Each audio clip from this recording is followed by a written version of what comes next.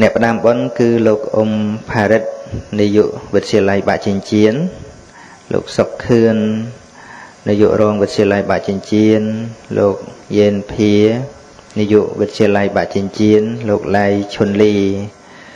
គណៈកម្មការត្រួតត្រងសាលាលោកគ្រូអ្នកគ្រូព្រមទាំងសិស្សានុសិស្សទាំងអស់នៃវិទ្យាល័យបាក់ចិញ្ចៀននឹងចឹងហើយនឹងមានការចូលរួមពីញាតិញោមពុទ្ធបរិស័ទផងដែរព្រោះនៅក្នុងកម្មវិធី បុណ្យសាមគ្គីបានដាក់ឈ្មោះសាមគ្គីពាក្យសាមគ្គីជាពាក្យល្អបើដែលព្រះសម្មាសម្ពុទ្ធព្រះអង្គទ្រង់ត្រាស់សម្ដែង មួយឃ្លានៃគាថានឹងថាសុខៈ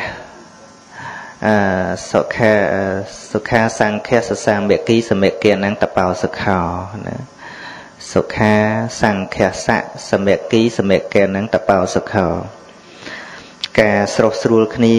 ការព្រមព្រៀងគ្នានៃពួកក្រុមនីមួយនីមួយ គឺនាំមកនៅសេចក្តីសុខបាទសុខាសង្ឃសសាមគ្គីសង្ឃសៈនឹងប្រែថាសង្ឃប៉ុន្តែសង្ឃក្នុងទីនេះ គឺប្រែថាក្រុមឬក៏ពួកសមាគមនិយាយរួមទៅចាប់ពី2អ្នកឡើងទៅ គឺជាក្រុមជាពួកដែល បានសុខដោយធัวសាមគ្គីសាមគ្គីហើយការសាមគ្គីគ្នាទៅបានក៏ដោយអាស្រ័យមនុស្សនឹងមានអធិស្រ័យត្រូវគ្នាផងចេះយកចិត្តអ្នកដតីមកដាក់ក្នុងចិត្តរបស់ខ្លួនឯងផងទៅសាមគ្គីគ្នាទៅបានហើយប្រសិនបើមនុស្សគិតយកតែគំនិតរៀងខ្លួនមិនចេះស្ដាប់អ្នកដតី ក៏មិនអាចសាមគ្គីគ្នាបានដែរបាទហើយ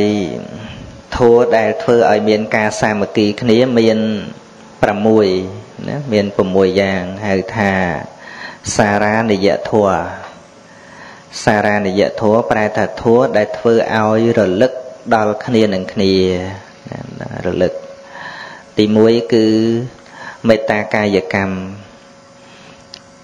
តាមផ្លូវកាយនឹងចេះគោរពចេះអោនលំទោនដូចជាប្រពៃណីខ្មែរយើងជួបលោកគ្រូអ្នកគ្រូចេះជំរាបសួរលើកដៃសំពះដោយសេចក្តីគោរពនឹងឯងឈ្មោះថាមេត្តាកាយកម្មហ្នឹងហើយមិនតែប៉ុណ្្នឹងទេ ការជួយ ខ្នះខ្នែងគ្នាដោយផ្លូវកាយមិនមើលនឹងភ្នែក ដូចជាឃើញមិត្តភ័ក្តិឬក៏មេដាបិតាអ្នកឯណានិមួយក្នុងក្រុមគ្រួសារនឹងមានរវល់កិច្ចការអីក៏ជួយយកចិត្តទុកដាក់ធ្វើដោយកាយណាដោយយកចិត្តទុកដាក់ដោយមិនមែលនឹងភ្នែកពាក្យថាមិនមើលនឹងភ្នែកហ្នឹងគឺមិនមែនត្រឹមតែឃើញទេគឺយកចិត្តទុកដាក់ជួយ ដោយមិនគិតពីផលកម្រៃអ្វីទាំងអស់ណាអញ្ចឹងឃើញមិត្តភ័ក្តិឈឺ ឬក៏សិស្សឃើញគ្រូឈឺឈឺគ្រូឃើញសិស្សឈឺដឹងតំណឹងចឹងទៅក៏ជួយខ្នះខ្នែងមធ្យោបាយផ្សេងផ្សេងជូនទៅពេទ្យអីដោយប្រើកម្លាំងកាយប្រកបដោយមេត្តាណារឿងទាំងអស់នឹងឯងដែលធ្វើឲ្យមនុស្សរលឹកគ្នាណាការជួយគ្នាគ្រាក្រ ការជួយគ្នាគ្រាមានអាសន្ននឹងចឹង វាមិនមែនពីរោះតែលើពាក្យថាទេវាទៅ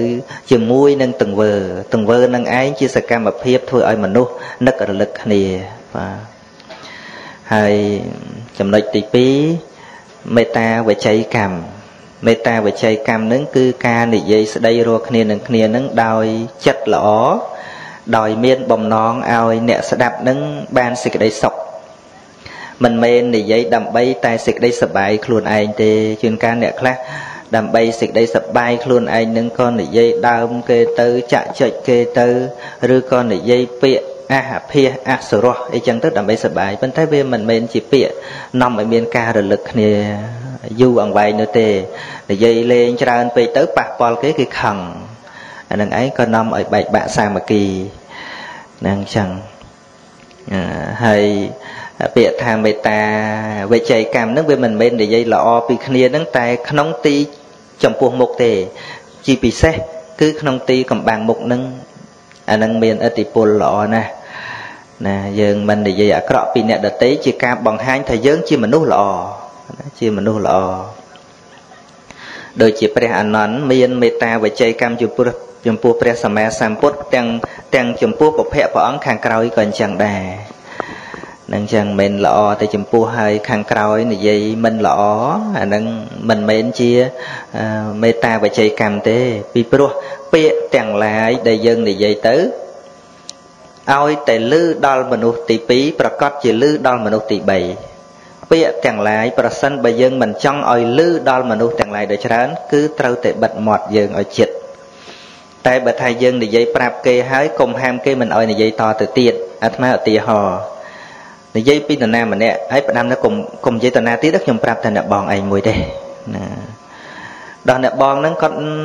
សន្យាថាអត់ប្រាប់មែនប៉ុន្តែថ្ងៃក្រោយគាត់ជួបអ្នកណាគាត់ទុកចិត្តមួយទៀតគាត់គេនោះផ្ដាំខ្ញុំថាអត់ឲ្យនិយាយខ្ញុំនិយាយប្រាប់តែអ្នកបងឯងមួយទេបន្តបន្តបន្តទៅបន្តិចលឺទៅដល់ម្ចាស់គេកើតរឿងកើតរាវអញ្ចឹងបានថាបើបិទមាត់យើងមិនចិត្តកុំប្រាថ្នាទុបត់បិទមាត់អ្នកដទេ យើងមើលតែមាត់យើងយើងទ្រាំថាអត់និយាយដែរប៉ុន្តែយូរយូរទ្រាំបានតែទ្រាំបានគេក៏ទ្រាំអត់បាននឹងអញ្ចឹងងាយងាយណាងាយពិចារណាមិនបាច់លាក់ទេតែកាលណាលឺដល់មាត់ម្នាក់ទៀតហើយនោះរឿងទាំងឡាយប្រសិនបើបើតាមអំពើកម្មផ្លូវកាយគឺថាបើមិនចង់ឲ្យគេដឹងមានតែកុំធ្វើពាក្យនិយាយបើមិនចង់ឲ្យគេឮមានតែកុំនិយាយកុំនិយាយប្រាប់គេហាមគេកុំឲ្យនិយាយ អញ្ចឹងបានពាក្យទាំងឡាយអាត្មាមិនសូវចូលចិត្តនិយាយខ្សឹបចូលចិត្តនិយាយដាក់មេក្រូអញ្ចឹងហ្នឹងនៅលឺទៅលឺអស់អញ្ចឹងទៅគំនិតអីអីលឺទាំងអស់ទៅយកទៅក្រែងលោអ្នកខ្លះយកពាក្យអាត្មាទីហៅអាត្មាខ្សឹបប្រាប់មនុស្សម្នាក់ដល់មនុស្សម្នាក់ហ្នឹងយកទៅនិយាយទៅវាអត់ដូចអាត្មានិយាយបើអាត្មានិយាយដាក់មេក្រូបើមនុស្សម្នាក់ហ្នឹងយកទៅនិយាយខុសមានម្នាក់ទៀតជួយកែទេអញស្ដាប់ដែរតើលោកមានថាចឹងណាមានអ្នកជួយកែជំនួសអាត្មាដែរតើបើខ្សឹបប្រាប់តែមនុស្សម្នាក់ម្នាក់ហ្នឹងទៅនិយាយបាត់ដឹងនរណាកែទេដោយការដែលអាត្មាទៅ ទេសនានៅអូស្ត្រាលីអញ្ចឹងអាត្មានិយាយអញ្ចឹងទៅដល់គាត់ស្ដាប់អត់បានគាត់យកទៅនិយាយដល់យកទៅនិយាយម្នាក់ទៀតគាត់នៅនឹងដែរគាត់ទៅទេខ្ញុំទៅដែរអត់លឺអញ្ចឹងផងអាហ្នឹងមានគេជួយយើងអញ្ចឹងបានចាស់បុរាណនិយាយថាដើរឲ្យមាន3ស្រដីឲ្យមាន4ណាហ្នឹងមានន័យត្រង់និងនីធៀបហៅថាអដ្ឋបដិរូបនិងអដ្ឋានរូបអដ្ឋានរូបដើរមាន3ហ្នឹងគឺថាមនុស្សដើរមានគ្នាទៅវាមិនសូវគ្រោះថ្នាក់អាហ្នឹងនៃនៃត្រង់ តែបើនៃធៀបក្នុងធัวដើរឲ្យមាន3គឺសំដៅដល់កាយកម្ម3គឺមិនសម្លាប់មិនលួចមិនលោភប្រពន្ធគេណាប្រពន្ធកូនគេ ស្រដីឲ្យមាន4និយាយនៃត្រង់ជាអដ្ឋានរូបគឺអឺកាលណាយើងនិយាយមានមនុស្សច្រើនមនុស្សនឹងជួយជាជាសាក្សីឲ្យយើងប៉ុន្តែបើនិយាយនៃធៀបនៅក្នុងពាក្យនេះ គឺសម្ដីមាន4ស្រដីមាន4ហ្នឹងគឺមិនកុហក មិនញុះញង់មិននិយាយពីអាក្រក់មិននិយាយពីអត្តប្រយោជន៍ហៅថាវិជ័យកម្ម4នៅក្នុងការនិយាយទោះបីនិយាយពីរនាក់ទោះបីនិយាយម្នាក់ទល់ម្នាក់ក៏ត្រូវតែឲ្យមាន កាយកម្ម3វិជ័យកម្ម4នឹងឯងជាសកម្មភាពដែលគេអាចមើលយើងឃើញនឹងចឹងហើយពាក្យសម្ដីប្រកបដោយមេត្តានឹងវាមិនមែនសម្រាប់តែគេឲ្យគេចូលចិត្តយើងមិនមែនទេគឺថានិយាយយ៉ាងណាធ្វើឲ្យគេបានប្រយោជន៍ មិនមិនក្តៅក្រហាយមិនកើតទុកព្រោះការបានលឺពាក្យយើងចិត្តប៉ុណ្ណឹងប៉ុន្តែថាអ្នកដតីគេក្តៅមិនក្តៅអានឹងជារឿងរបស់គេពីព្រោះសំបីតែពាក្យរបស់ព្រះសម្មាសម្ពុទ្ធហ្នឹងក៏មិនមែនគេសប្បាយចិត្តគ្រប់គ្នាដែរណាយើងស្ដាប់ពាក្យហ្នឹងមិនតន់យើងកាន់ថានិយាយឲ្យគេសប្បាយចិត្តចុះអ្នកខ្លះនិយាយល្អដែរគេនៅតែទាស់អាហ្នឹងវាមានរឿងហេតុផ្សេងទៀតដូចជាទឹកភ្លៀងសម្រាប់ស្រោចស្រពដំណាំដាំដុះអញ្ចឹងប៉ុន្តែ ដំណាំខ្លះវាអត់ត្រូវការទឹកភ្លៀងច្រើន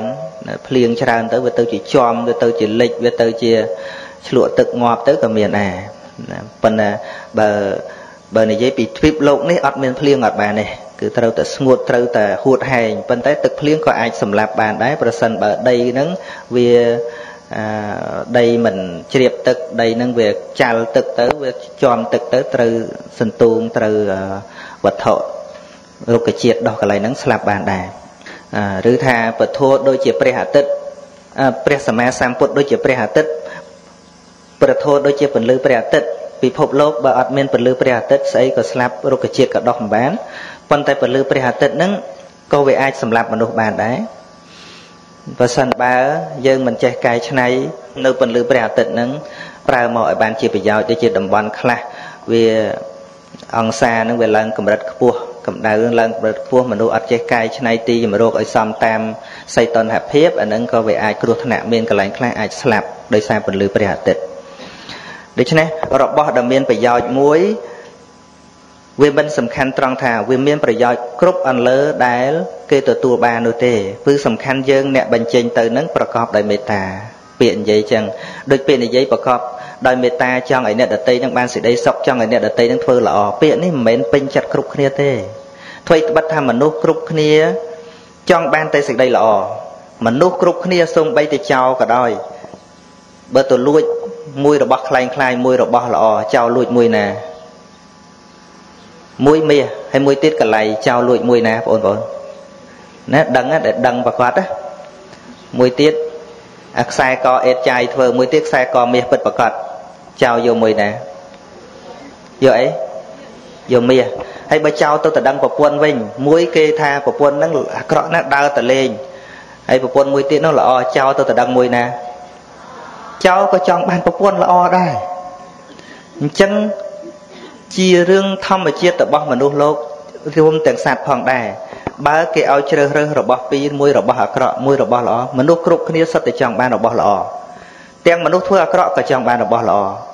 ទាំងមនុស្សធ្វើល្អក៏ចង់បានរបស់ល្អប៉ុន្តែបើគេណែនាំឲ្យធ្វើល្អមានមនុស្សតោះចិត្តឃើញទេអាហ្នឹងវាជារឿងធម្មតាដោយសារអត់មានឧបនិស្ស័យជាងការឲ្យនិយាយរឿងធ្វើល្អហ្នឹងរឿងឆ្អើមហ្មងណាអ្នកខ្លះប៉ុន្តែប្រសិនបើគាត់ជួបប្រពន្ធអាក្រក់ជួបកូនអាក្រក់គាត់ពិបាកចិត្តដូចគ្នាអញ្ចឹង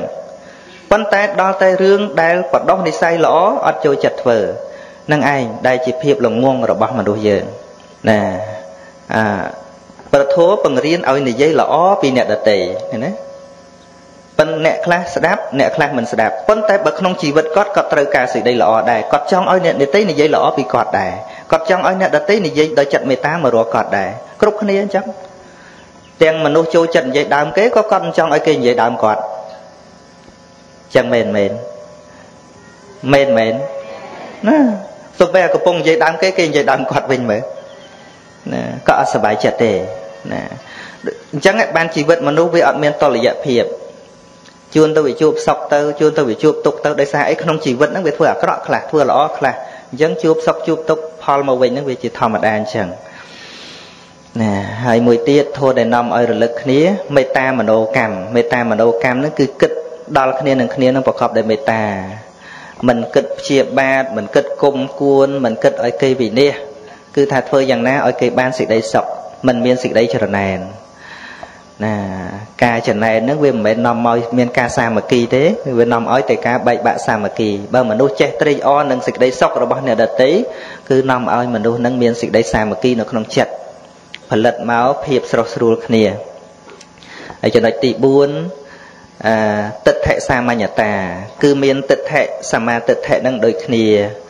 យល់ត្រូវដូចគ្នាទើបអាចសហគមន៍ជាមួយគ្នាបានប៉ុន្តែទិដ្ឋិក្នុងទីនេះ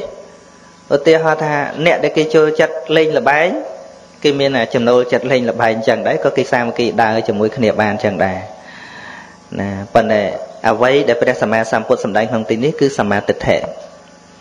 ណាដូចញាតិញោមជើញមកស្ដាប់ធម៌អញ្ចឹង សូមមានអធិស្ឋានអ្នកស្ដាប់ធម៌បានជើញមកបានបើថាអត់មានអធិស្ឋានទេអធិស្ឋានជាប់ជាមួយនឹងកតុយលេខអធិស្ឋានជាប់ជាមួយអប៉ោងអធិស្ឋានជាប់ជាមួយតំណោតជូអធិស្ឋានជាប់ជាមួយស្អីទេអាហ្នឹងជើញមកអត់បានទេព្រឹកនេះមែនទេមែនទេអត់មានអឺអីមួយសោះនឹងចឹងបាទណាសត្វលោកយើងត្រូវគ្នាដោយធាតបាទហើយចំណែកមួយទៀត សីលសាមញ្ញតា មានសិលដូចគ្នាសិលនេះនិយាយតាំងពីសិក្ខាបទដែលយើងរក្សាសិលមួយយ៉ាងទៀតប្រែថាចរិយាការប្រព្រឹត្តមេយាតមេយាតរឹកពៀនឹងស្តៀងគ្នាទៅដើរជាមួយគ្នាបាន នៅជាមួយគ្នាបានហើយម្យ៉ាងទៀតសាធារណៈភោគីចេះចែករំលែកធនធានចេះចែករំលែកការបរិភោគដោយចាស់ថាចូលព្រៃកាចសាហាវមានសត្វកាចសាហាវស្រែកអំពាវគ្នាមកជុំ ដល់ទៅនៅផ្ទះបានស្ករឬទឹកខ្មុំពួនសំងំឆៃតែឯងអានឹងថ្ងៃក្រោយគេអត់ជួយទេណាពេលភ័យរកគេពេលស៊ីពួនអានឹងគេអត់ជួយយើងទៀតទេយល់ទេណាធัวទាំងអស់ហ្នឹងដែលអាចនាំឲ្យមានភាពសាមគ្គីគ្នាលោកគ្រូអាត្មាលោកផ្ដាំថាណែបើគេពឹងឲ្យជួយទៅឲ្យឆាប់តែគេហៅឲ្យស៊ីកុំទៅញឹកពេកណាណានឹងពាក្យពាក្យគ្រូអាត្មាលោក5អញ្ចឹងណា ចាំឲ្យច្បាស់បើគេពឹងឲ្យជួយត្រូវតែទៅឲ្យប្រញាប់តែបើគេហៅឲ្យស៊ីកុំទៅញឹកពេកអានឹងខានក៏បានដែរมันសំខាន់ទេយល់ទេពាក្យហ្នឹងនឹងជួយចាំអាត្មាទៅពាក្យគ្រូអាត្មាណាចាំមកណាដូច្នេះអាត្មាគ្រាន់តែប្ររពពាក្យថាបុណ្យសាមគ្គីហ្នឹងវាទល់តែមានធัวទាំងអស់ហ្នឹងបានមនុស្សយើងសាមគ្គីគ្នាបាន ណាជាពិសេសពាក្យសម្ដីនិយាយដល់គ្នានឹងគ្នាហ្នឹងសំខាន់ណាស់ហើយជាពិសេសពេលគ្រាអត់ហើយមនុស្សយើងចេះជួយគ្នាហ្នឹងមិនងាយភ្លេចទេណាទោះបីជារឿងភ្លេចអាហ្នឹងវាជារឿងបុគ្គលអកតញ្ញូម្នាក់ម្នាក់អាហ្នឹងវាជារឿងធម្មតាណាហើយឥឡូវនេះតាមលោកគ្រូកុសលបានឡើង ឲ្យយោបល់ដំបងហ្នឹងថានឹងមានបងប្អូនឡើងសាកសួរបញ្ហាខ្លះណាអញ្ចឹងត្រូវមានសេចក្តីក្លាហានណាអាត្មានឹងមិនមែនអះអាងថាមកដោះស្រាយបញ្ហាគ្រប់អន្លើនោះទេគ្រាន់ថាបានរៀនផ្នែកពុទ្ធសាសនាធម៌អានឹងបានខ្លះខ្លះចឹងទៅជួយចង់ចែករំលែកការយល់ដឹងខ្លះណាពីព្រោះ នៅក្នុងជីវិតយើង យើងត្រូវការច្រើន យើងត្រូវការមិត្តភ័ក្តិយើងត្រូវការអឺចំណេះដឹង យើងត្រូវការការងារចិញ្ចឹមជីវិត ត្រូវការលុយកាក់ទ្រព្យសម្បត្តិប៉ុន្តែប៉ុណ្ណេះមិនតាន់គ្រប់គ្រាន់ទេយើងនៅត្រូវការសាសនា សម្រាប់ជួយអប់រំចិត្តសន្តានយើងទៀតនៅក្នុងពិភពលោកនេះ មានវិស័យពីរដែលមិនអាចបែកគ្នាបាន គឺវិទ្យាសាស្ត្រហើយនិងសាសនាវិទ្យាសាស្ត្រប្រការណា ប្រសិនបើមិនមានសាសនាអប់រំទេនឹងទៅជាខូខើសាសនាអត់មានវិទ្យាសាស្ត្រក៏ទៅជាការជឿងងប់ងងល់ដែរណាហ្នឹងទាំងពីរហ្នឹងគឺថាត្រូវតែមានវិទ្យាសាស្ត្រអត់មានសាសនា ទៅជាខោខើ សាសនាដែលមិនមានវិទ្យាសាស្ត្រ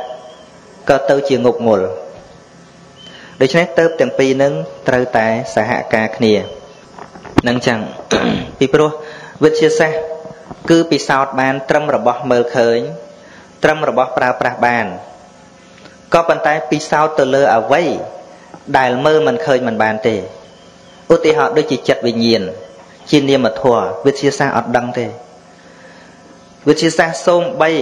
តែសិក្សាអំពីចិត្តសាស្ត្រគេហៅថាមេរៀនចិត្តសាស្ត្រគ្រាន់តែជាការស្ទាបស្ទង់តាមអធិស្រ័យអត្តចរិត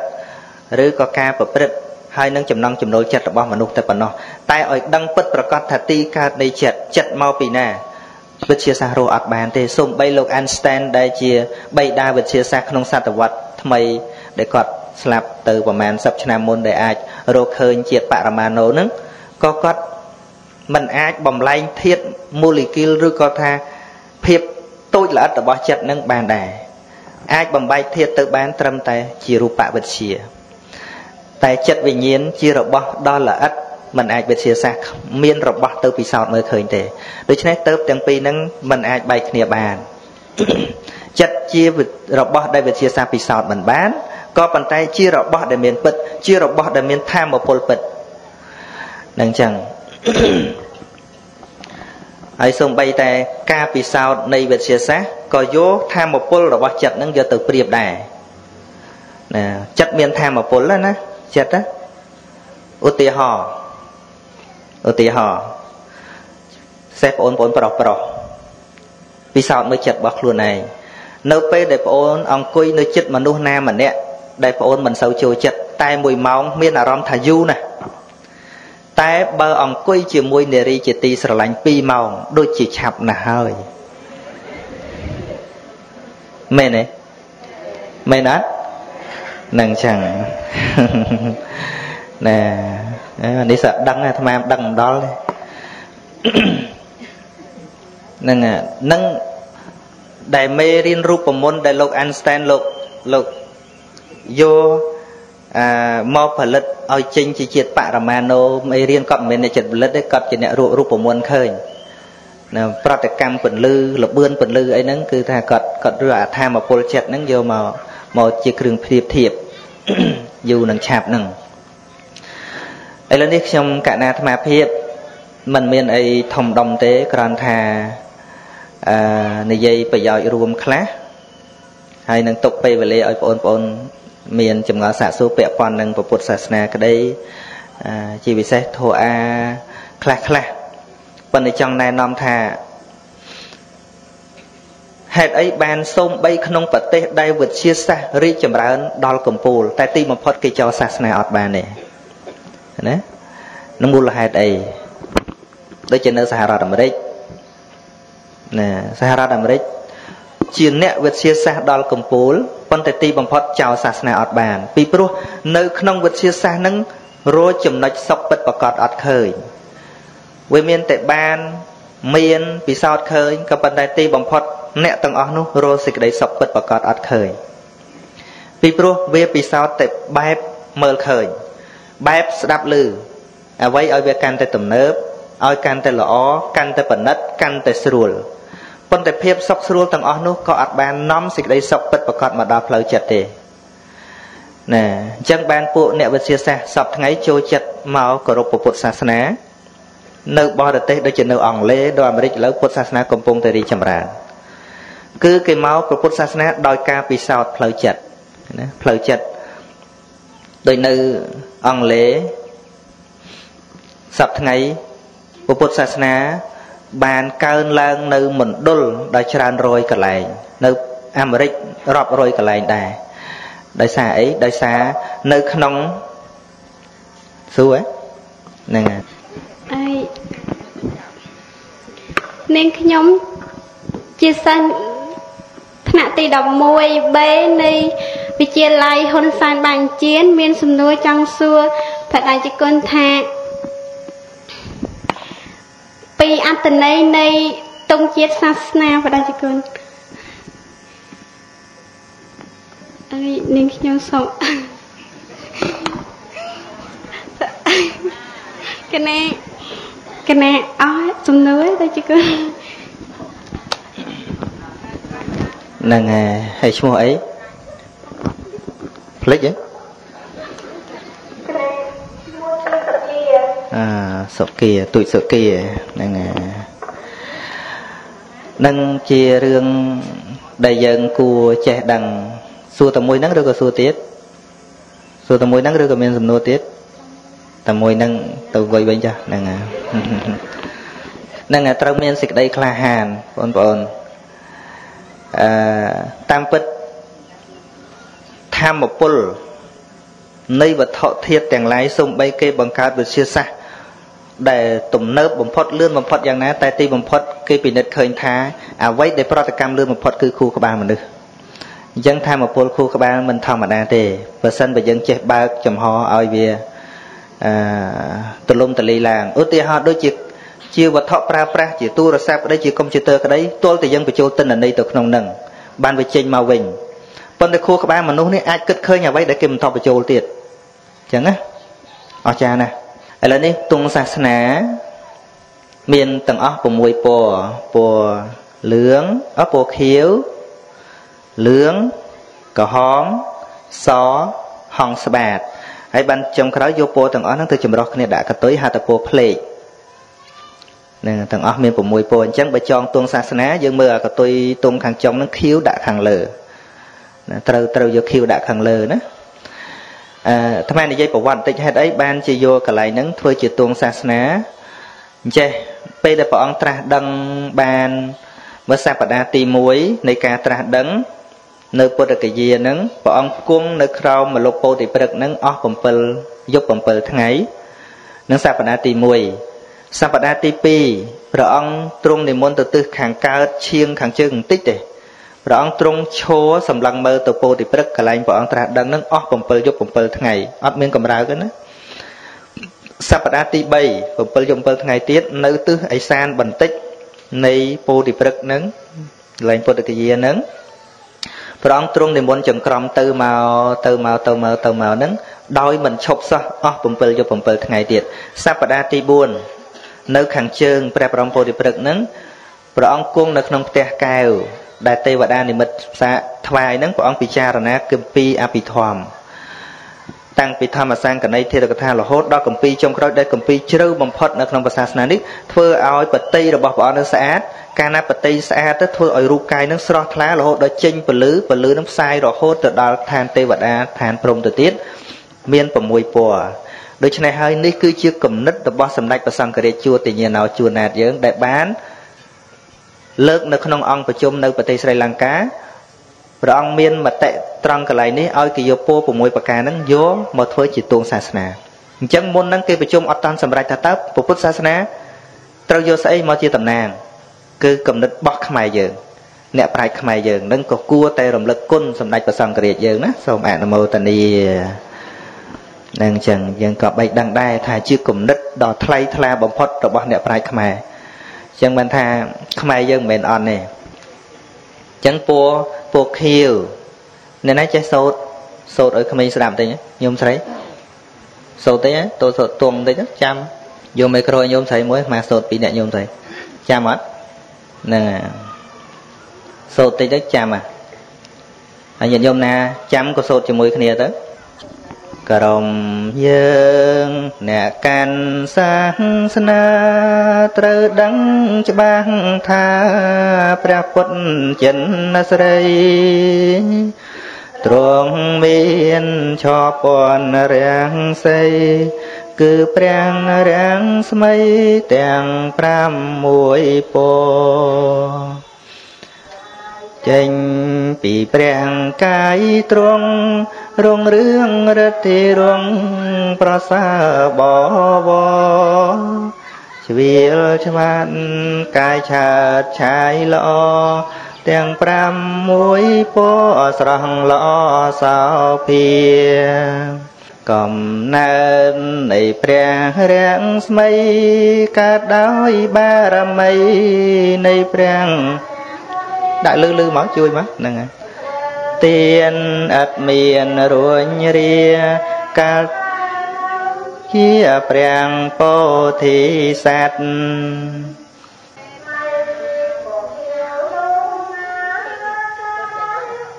កាស្គៀលនេត្រាអីភ្លេចអស់អាលីងទៅហើយ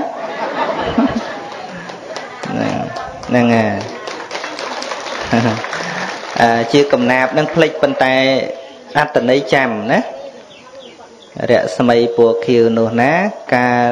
ស្គីលនេត្រាឲ្យអិនព្រាមក្រោយហ្នឹងណាណាឥឡូវឥឡូវយកអត្តន័យចាស់យកអត្តន័យពណ៌ខៀវហ្នឹងការដែលព្រះអង្គជាព្រះព្រះបរមពោធិសត្វ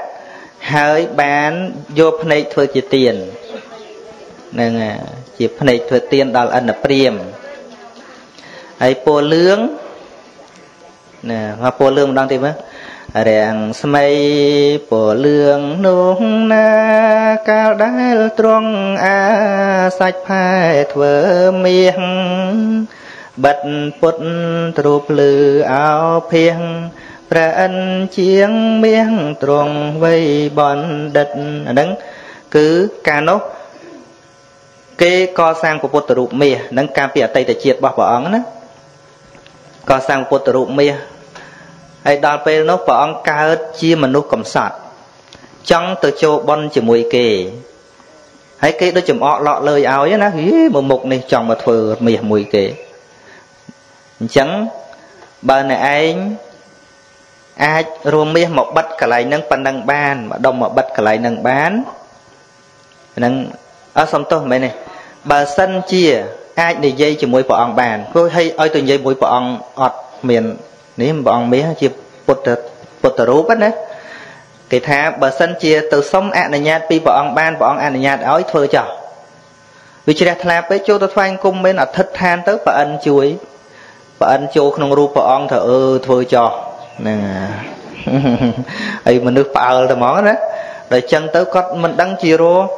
មីហើយណាបានគាត់ថាបើសិនជាលោកនេះ ក្នុងលោកនេះអ្នកណាមានរិទ្ធអាចមកអាសាច់ខ្ញុំធ្វើជាមាសបានជើញមកចោះប៉ុណ្ណឹងប្រអិនមកអាមែនខ្វោកសាច់ភ្លឺ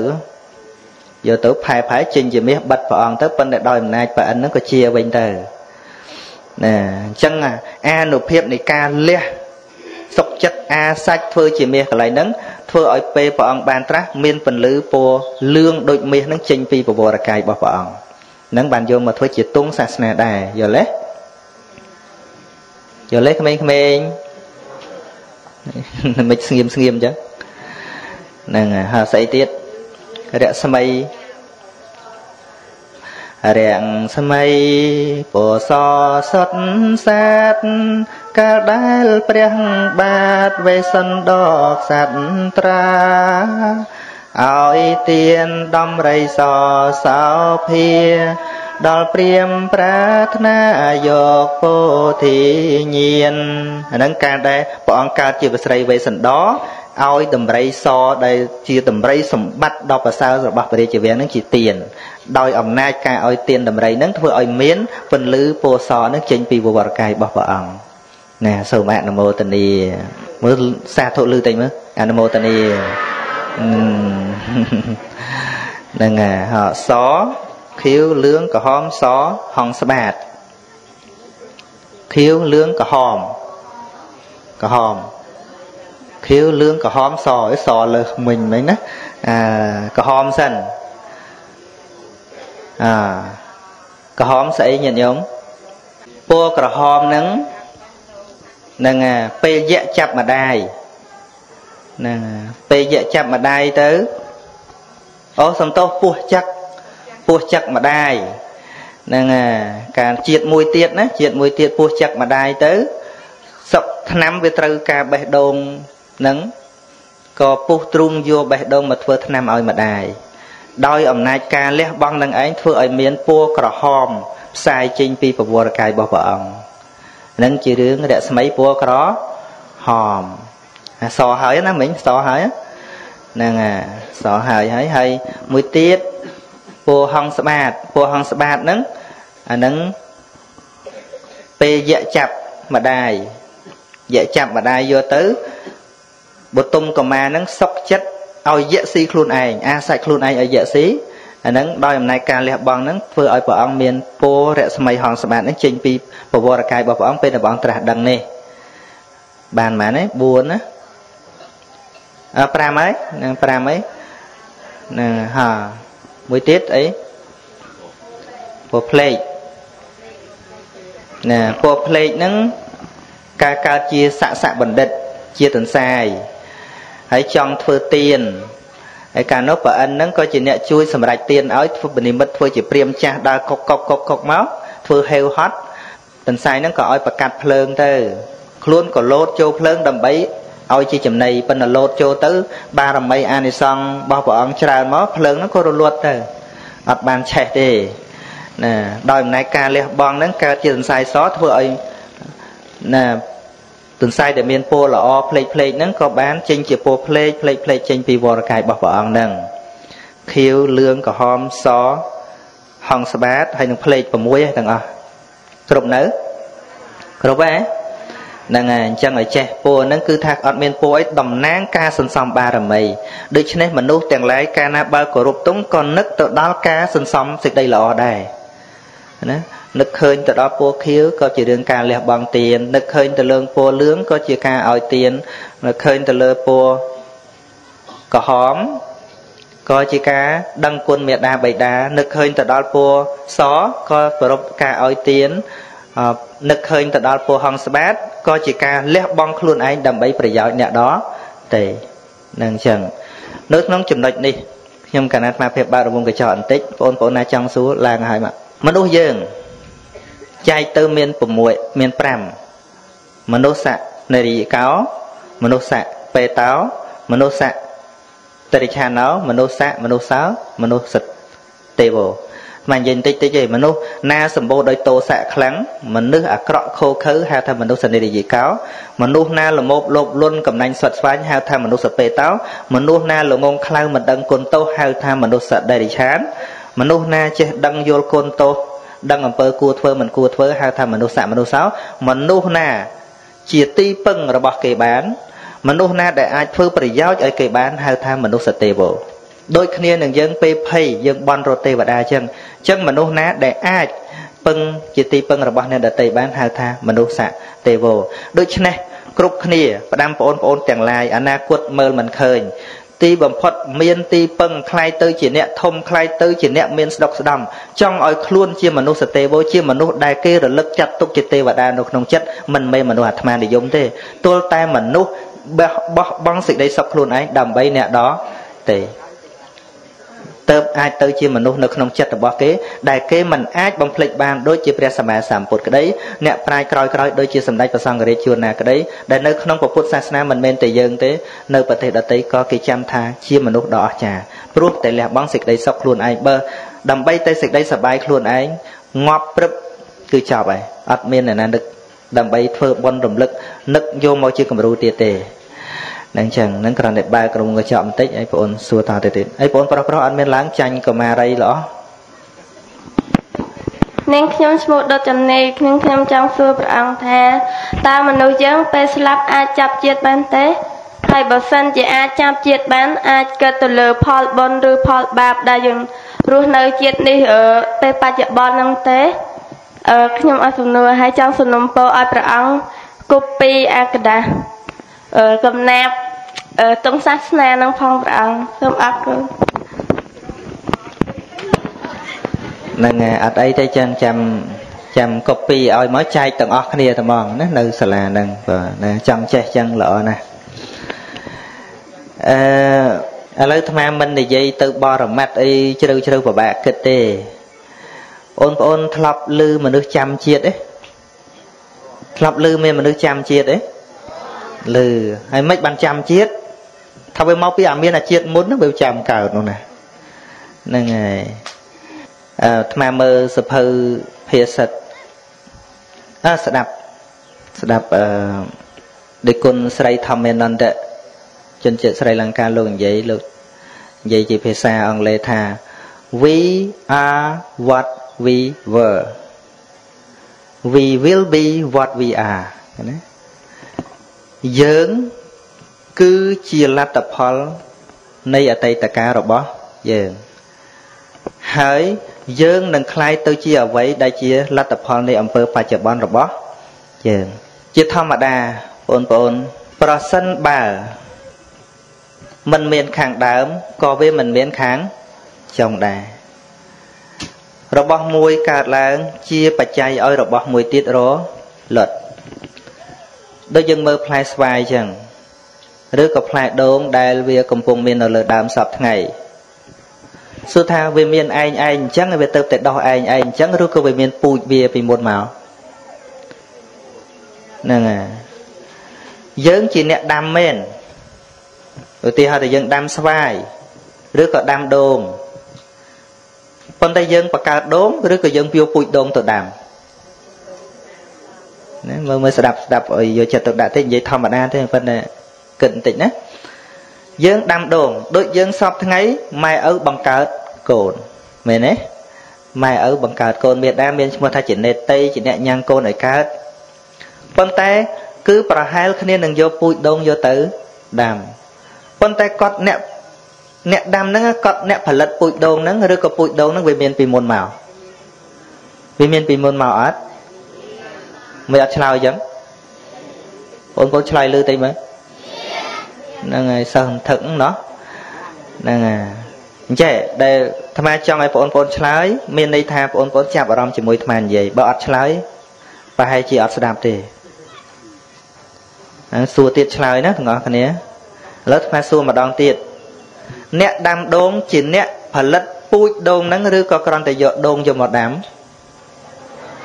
យកពូជមកដាំឬក៏ជាអ្នកផលិតពូជដូងស្លើយអាស្រីស្រីទៀតប្រុសប្រុសអត់កើតទៅមកនេះប៉ាប្រុសប្រុសបន្តិចហ្នឹងអាអញ្ចឹង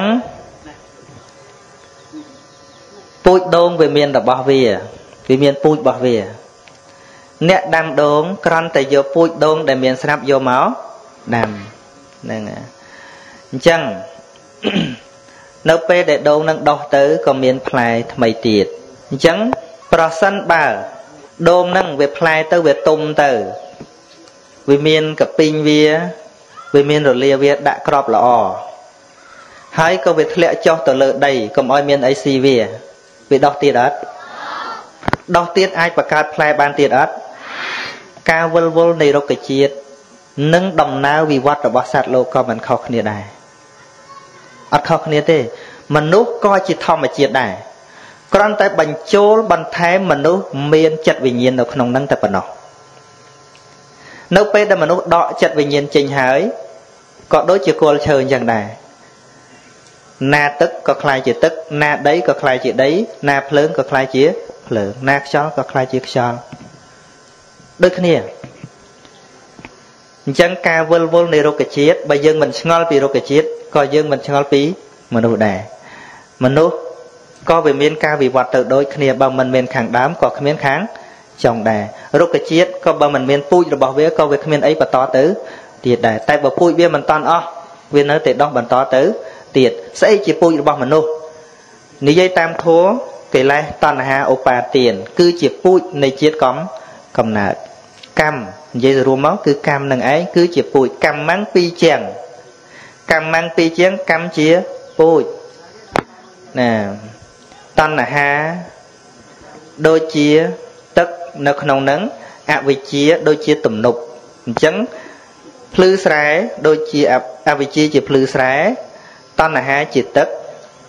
កម្មជាពូជដែលដាក់ចុះនៅក្នុងស្រែដែលមានទឹកដែលមានភ្លឺស្រែទប់ល្អហើយប្រកាសជាដោះតទៅ ទៀតគ្រាន់ថាយកមកបញ្យលជីវិតមនុស្សវាល្អិតដោយសារវាមានធម៌ពលចិត្តមួយវានឹងបន្តទៅទៀតវាជាធម៌ពលវាមិនមែនទៅទាំងដុលដោយរុក្ខជាតិមនុស្សដែលទៅភពថ្មីទៀតវាទៅដោយធម៌ពលទៅដោយកម្លាំងនៃការគិត ទៅដោយកម្លាំងនៃការនៃការជាប់នឹងអ្វីមួយហ្នឹងហើយប៉ុន្តែរូបកាយវាអត់មានទៅទៀតទេ ចិត្តណាមុនក៏វារលត់ដែរតែទៅតែធម៌ពលប៉ុណ្ណោះដូចជាបងប្អូនធ្លាប់សិស្សផ្ញើមេសេចហ៎ផ្ញើប្រើទូរស័ព្ទធ្លាប់ផ្ញើមេសេចហ៎ធ្លាប់ហ៎ផ្ញើទៅណាគេញឹកជាងគេហ្នឹងហើយនៅពេលដែលបងប្អូនចុចមេសេចចុចគឺនៅក្នុងទូរស័ព្ទរបស់យើងដែលយើងចុចពាក្យថាសិនវា alert ថាទៅហើយស្រាប់តែ អូនខាងនោះទទួលបាន I miss you so much នឹងអញ្ចឹងអក្សរដែលយើងចុចទៅ វាអត់មានរត់ទៅទេ នៅតែក្នុងទូរស័ព្ទយើងដដែលឯអក្សរដែលគេទទួលនៅក្នុងទូរស័ព្ទគេ គឺជាជាអក្សរថ្មីនៅក្នុងទូរស័ព្ទគេវាអត់ឃើញកន្លែងរត់ទៅទេ តែវាមានធម៌ពលវាមានចរន្ត យ៉ាងណាមិញអំពើទាំងឡាយដែលយើងធ្វើជាតិនេះវាអត់មានរត់ទៅជាតិមុខទេតែវាដូចជាធម៌ពលមួយផលិតនៅអ្វីអ្វីនៅក្នុងអនាគតដូចគ្នានឹងយើងផ្ញើអញ្ចឹងប្រើទូរស័ព្ទចេះទូរស័ព្ទដឹងហើយណាណាថ្មកាលដែលនៅវត្តពេញែកនៅឆ្នាំជាង10ឆ្នាំមុនមានលោកមួយអង្គដែលលោកមករៀនហ្នឹងលោកចាំកាលពីសម័យប៉ុលពត ពីអ្នកប្តីប្រពន្ធលោកកើតមកដូចជាអ្នកមានគួសមដែរយមមាសទៅកប់ទុកពីអ្នកប្តីប្រពន្ធហើយក្រោយមកគេយកទាំងពីរអ្នកប្តីប្រពន្ធទៅបាញ់ចោលក្នុងរណ្ដៅតែមួយអញ្ចឹងវាជាប់ជាពាក់ជាមួយអាមាសហ្នឹង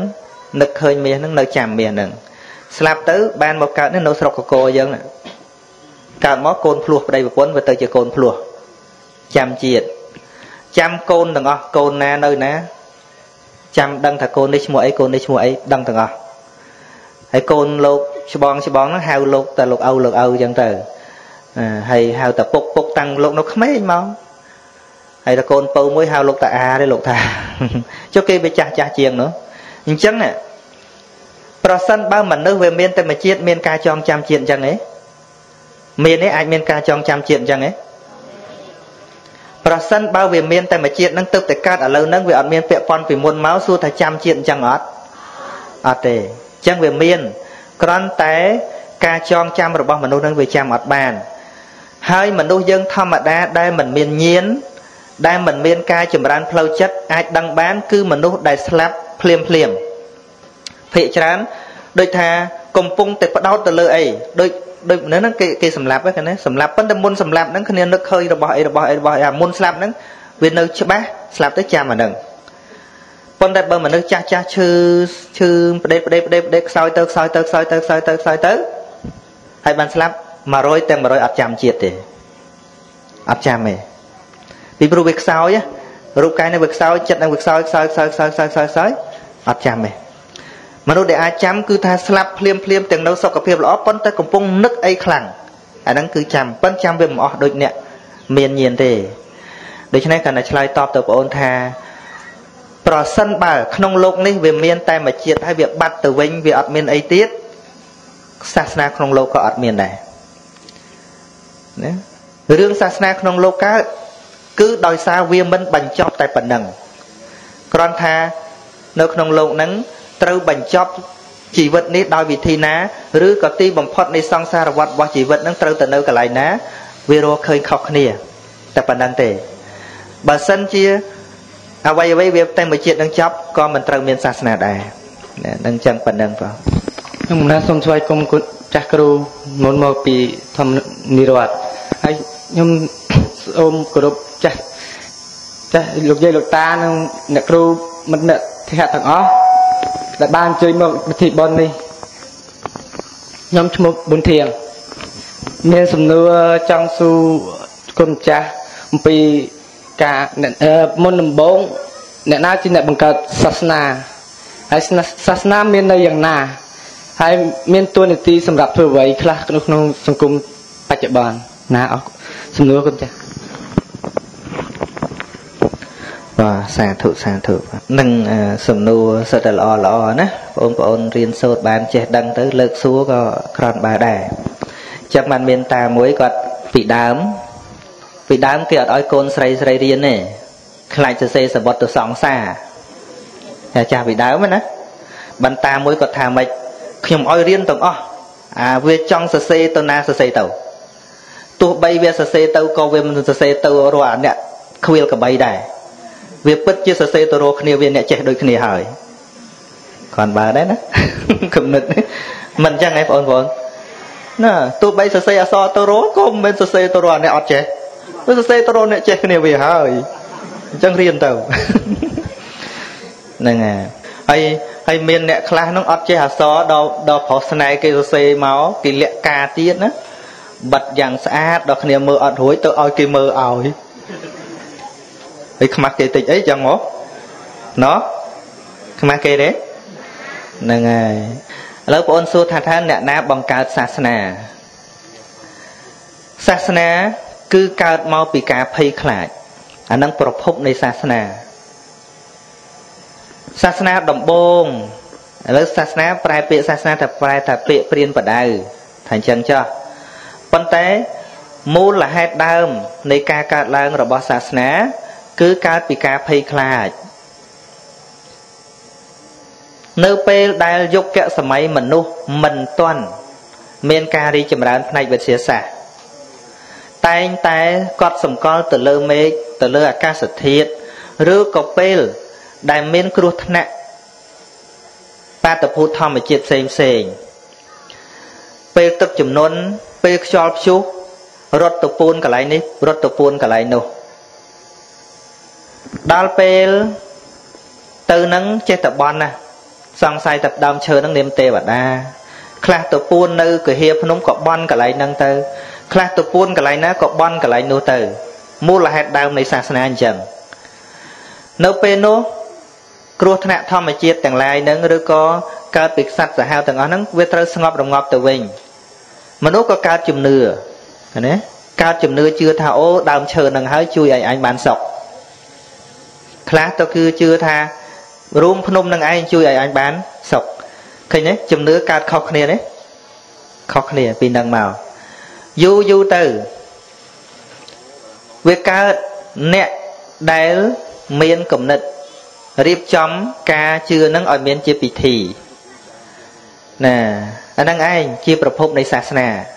នឹងបាននិយាយដល់យ៉ៗដោយខ្លីម្ល៉េះហើយ ក្រោយក្រោយមកជួនកាលការជឿប៉ុណ្ណឹងវាមិនគ្រប់គ្រាន់ព្រោះมันអាចដោះស្រាយសេចក្តីទុក្ខឲ្យសត្វលោកបានទៅមានអ្នកសន្សំបារមីណាពីព្រោះការជឿអញ្ចឹងការបន់អញ្ចឹងវាអត់តន់គ្រប់គ្រាន់សេចក្តីទុកនៅតែទុកមនុស្សល្ងងនៅតែល្ងងគ្រោះថ្នាក់នៅតែគ្រោះថ្នាក់អញ្ចឹងធ្វើឲ្យមនុស្សអ្នកមានបញ្ញាដូចជាព្រះព្រះបរមពោធិសត្វអីអញ្ចឹងសន្សំបារមីចង់ដឹងការពិតនៃជីវិតណាស្វែងរកការពិតនៃជីវិត រហូតដល់ព្រះអង្គបានត្រាស់ដឹងអញ្ចឹងទៅ បានត្រាស់ដឹងការពិតប៉ុន្តែព្រះអង្គអត់បដិសេធទេមនុស្សជឿអីដោយយល់ថាត្រូវព្រះសម្មាសម្ពុទ្ធមិនដែលបដិសេធទេដូច្នេះយើងក៏មានទស្សនៈចង្អៀតចង្អល់ចំពោះសាសនាដទៃពីព្រោះមនុស្សយើងតែកាលណាជឿអីគឺតែងតែយល់ថាត្រូវមែនមែនមែនអត់មែនយើងទៅថាគាត់ខុសគាត់ព្រមអត់ ប៉ុន្តែមនុស្សនឹងព្រមលះបង់ការខុសដោយការយល់ទៅព្រះអង្គត្រូវសម្ដែងពន្យល់ណាត្រូវសម្ដែងពន្យល់ឥឡូវអាត្មាមិននិយាយថាក្នុងសាសនាដតីគេយ៉ាងម៉េចទេនិយាយក៏វាមិនអស់ដែរមិនដឹងសាសនាប្រមាណ100ទេបើអាត្មាស្ដាប់ដោយគុណស្រីធម្មេនន្តៈជនជាតិស្រីលង្កាលោកថាលោកបោកសរុបមើលព្រះដែលគេយកមកទទូអង្គគោរពជាសាសនាហ្នឹងអឺម ជាង30លានព្រះណាដែលគេគោរពនៅក្នុងពិភពលោកនិកាយទុំនិកាយតូចគ្រាន់តែនៅក្នុងឥណ្ឌាសពថ្ងៃហ្នឹង1500សាសនាជាងដោយសារអីដោយសារជឿតតគ្នាជឿទៅលើសាសនាថាជាសាសនាដែលអាចផ្ដល់សេចក្តីតសុខ ប៉ុន្តែឥឡូវវាពាក់ព័ន្ធរឿងនេះអាត្មាមិនវិនិច្ឆ័យសាសនាដទៃហើយក៏មិនបន្តគេថាខុសដែរពីព្រោះវាមូលហេតុកើតវាអញ្ចឹងមូលហេតុកើតអញ្ចឹងដូចមនុស្សតែឈឺឆោតណាខ្ញុំដែរលឺមនុស្សឈឺឆោតការដែលមិនតន់ឈឺឈឺមិនសូវជឿអីប្រេះផ្ដាស់ទេហើយតែឈឺមើលពេទ្យក៏មិនជាអីក៏មិនជាចាប់ដើមរកគ្រូទាយមែនអត់ហើយស្មានមុខយាយយាយនឹងឈប់ជឿគ្រូទាយហ្នឹង ហ្នឹងហើយឈឺឆោតមនុស្សយើងដែលជឿហ្នឹងមកពីមានទុកមានលំបាកបើមនុស្សនឹងជួបតែសេចក្តីសុខតែមួយយ៉ាងក្នុងជីវិតអត់មានទៅជឿស្អីទៀតទេអញ្ចឹងជាការសម្ដែងថាក្នុងโลกនេះវាទុកច្រើនណាស់បានវាជឿផ្ដេសផ្ដាស់ច្រើនដល់ម្លឹងហើយជឿនឹងជឿដើម្បីអីថាជឿដើម្បីឲ្យរបស់ទាំងអស់នឹងជួយឲ្យរួចផុតទុក្ខហើយព្រះសម្មាសម្ពុទ្ធឪពុកម្ដាយព្រះអង្គចដូនចតាព្រះអង្គគឺសិតតែជឿព្រះអញ្ចឹង ជឿសាសនាអញ្ចឹងជឿថាសែនព្រះទៅបូជាព្រះព្រំព្រះអិនអញ្ចឹងបានសេចក្តីតកសុខព្រះអង្គក៏កើតក្នុងត្រកូលបែបហ្នឹងណាម្ដាយរបស់ព្រះអង្គក៏បូបូជាបន់ស្រន់តព្រះបន់ស្រន់តទេវតាបន់ស្រន់តព្រំទៅអញ្ចឹងម្ដាយព្រះសិរីបុត្រកាន់សាសនាព្រហ្មញ្ញទៅអញ្ចឹងមកជីវិតគាត់នឹងរហូតដល់ព្រះសិរីបុត្រចិត្តសគត់បានភ្ញាក់ភ្ញាក់ខ្លួនអញ្ចឹងលោកអត់មានបខំទេលោកទៅប្រោសនរណាដែលមានឧបនិស្ស័ យឃើញទេបរិសតមសារថេទូនមានបានតែអ្នកមានឧបនិស្ស័យដល់តែព្រះសម្មាសម្ពុទ្ធព្រះអង្គត្រាស់ដឹងក្នុងពេលដែលត្រាស់ដឹងជាពុទ្ធអញ្ចឹងតើព្រះអង្គត្រាស់ដឹងធម៌អីដែលបញ្ញត្តិថាជាពុទ្ធមាន3ដំណាក់កាលយាមទី1ព្រះអង្គបានចុតោបបាតិវិជាអបពេនិវេសានុសតិវិជា បពេនិវេសានុសតិវិជានឹងគឺរលឹកឃើញជាតិមុនមុនមុនមុនមុនមុនតាំងពីរាប់អសង្ខ័យជាតិមកព្រះអង្គធ្លាប់កើតជាអីព្រះអង្គធ្វើអីឈ្មោះអីឈ្មោះមិនមិនគឺប្រជុំចុះនៅក្នុងញាណរបស់ព្រះអង្គទាំងអស់ឃើញច្បាស់នឹងហៅថាបពេនិវេសា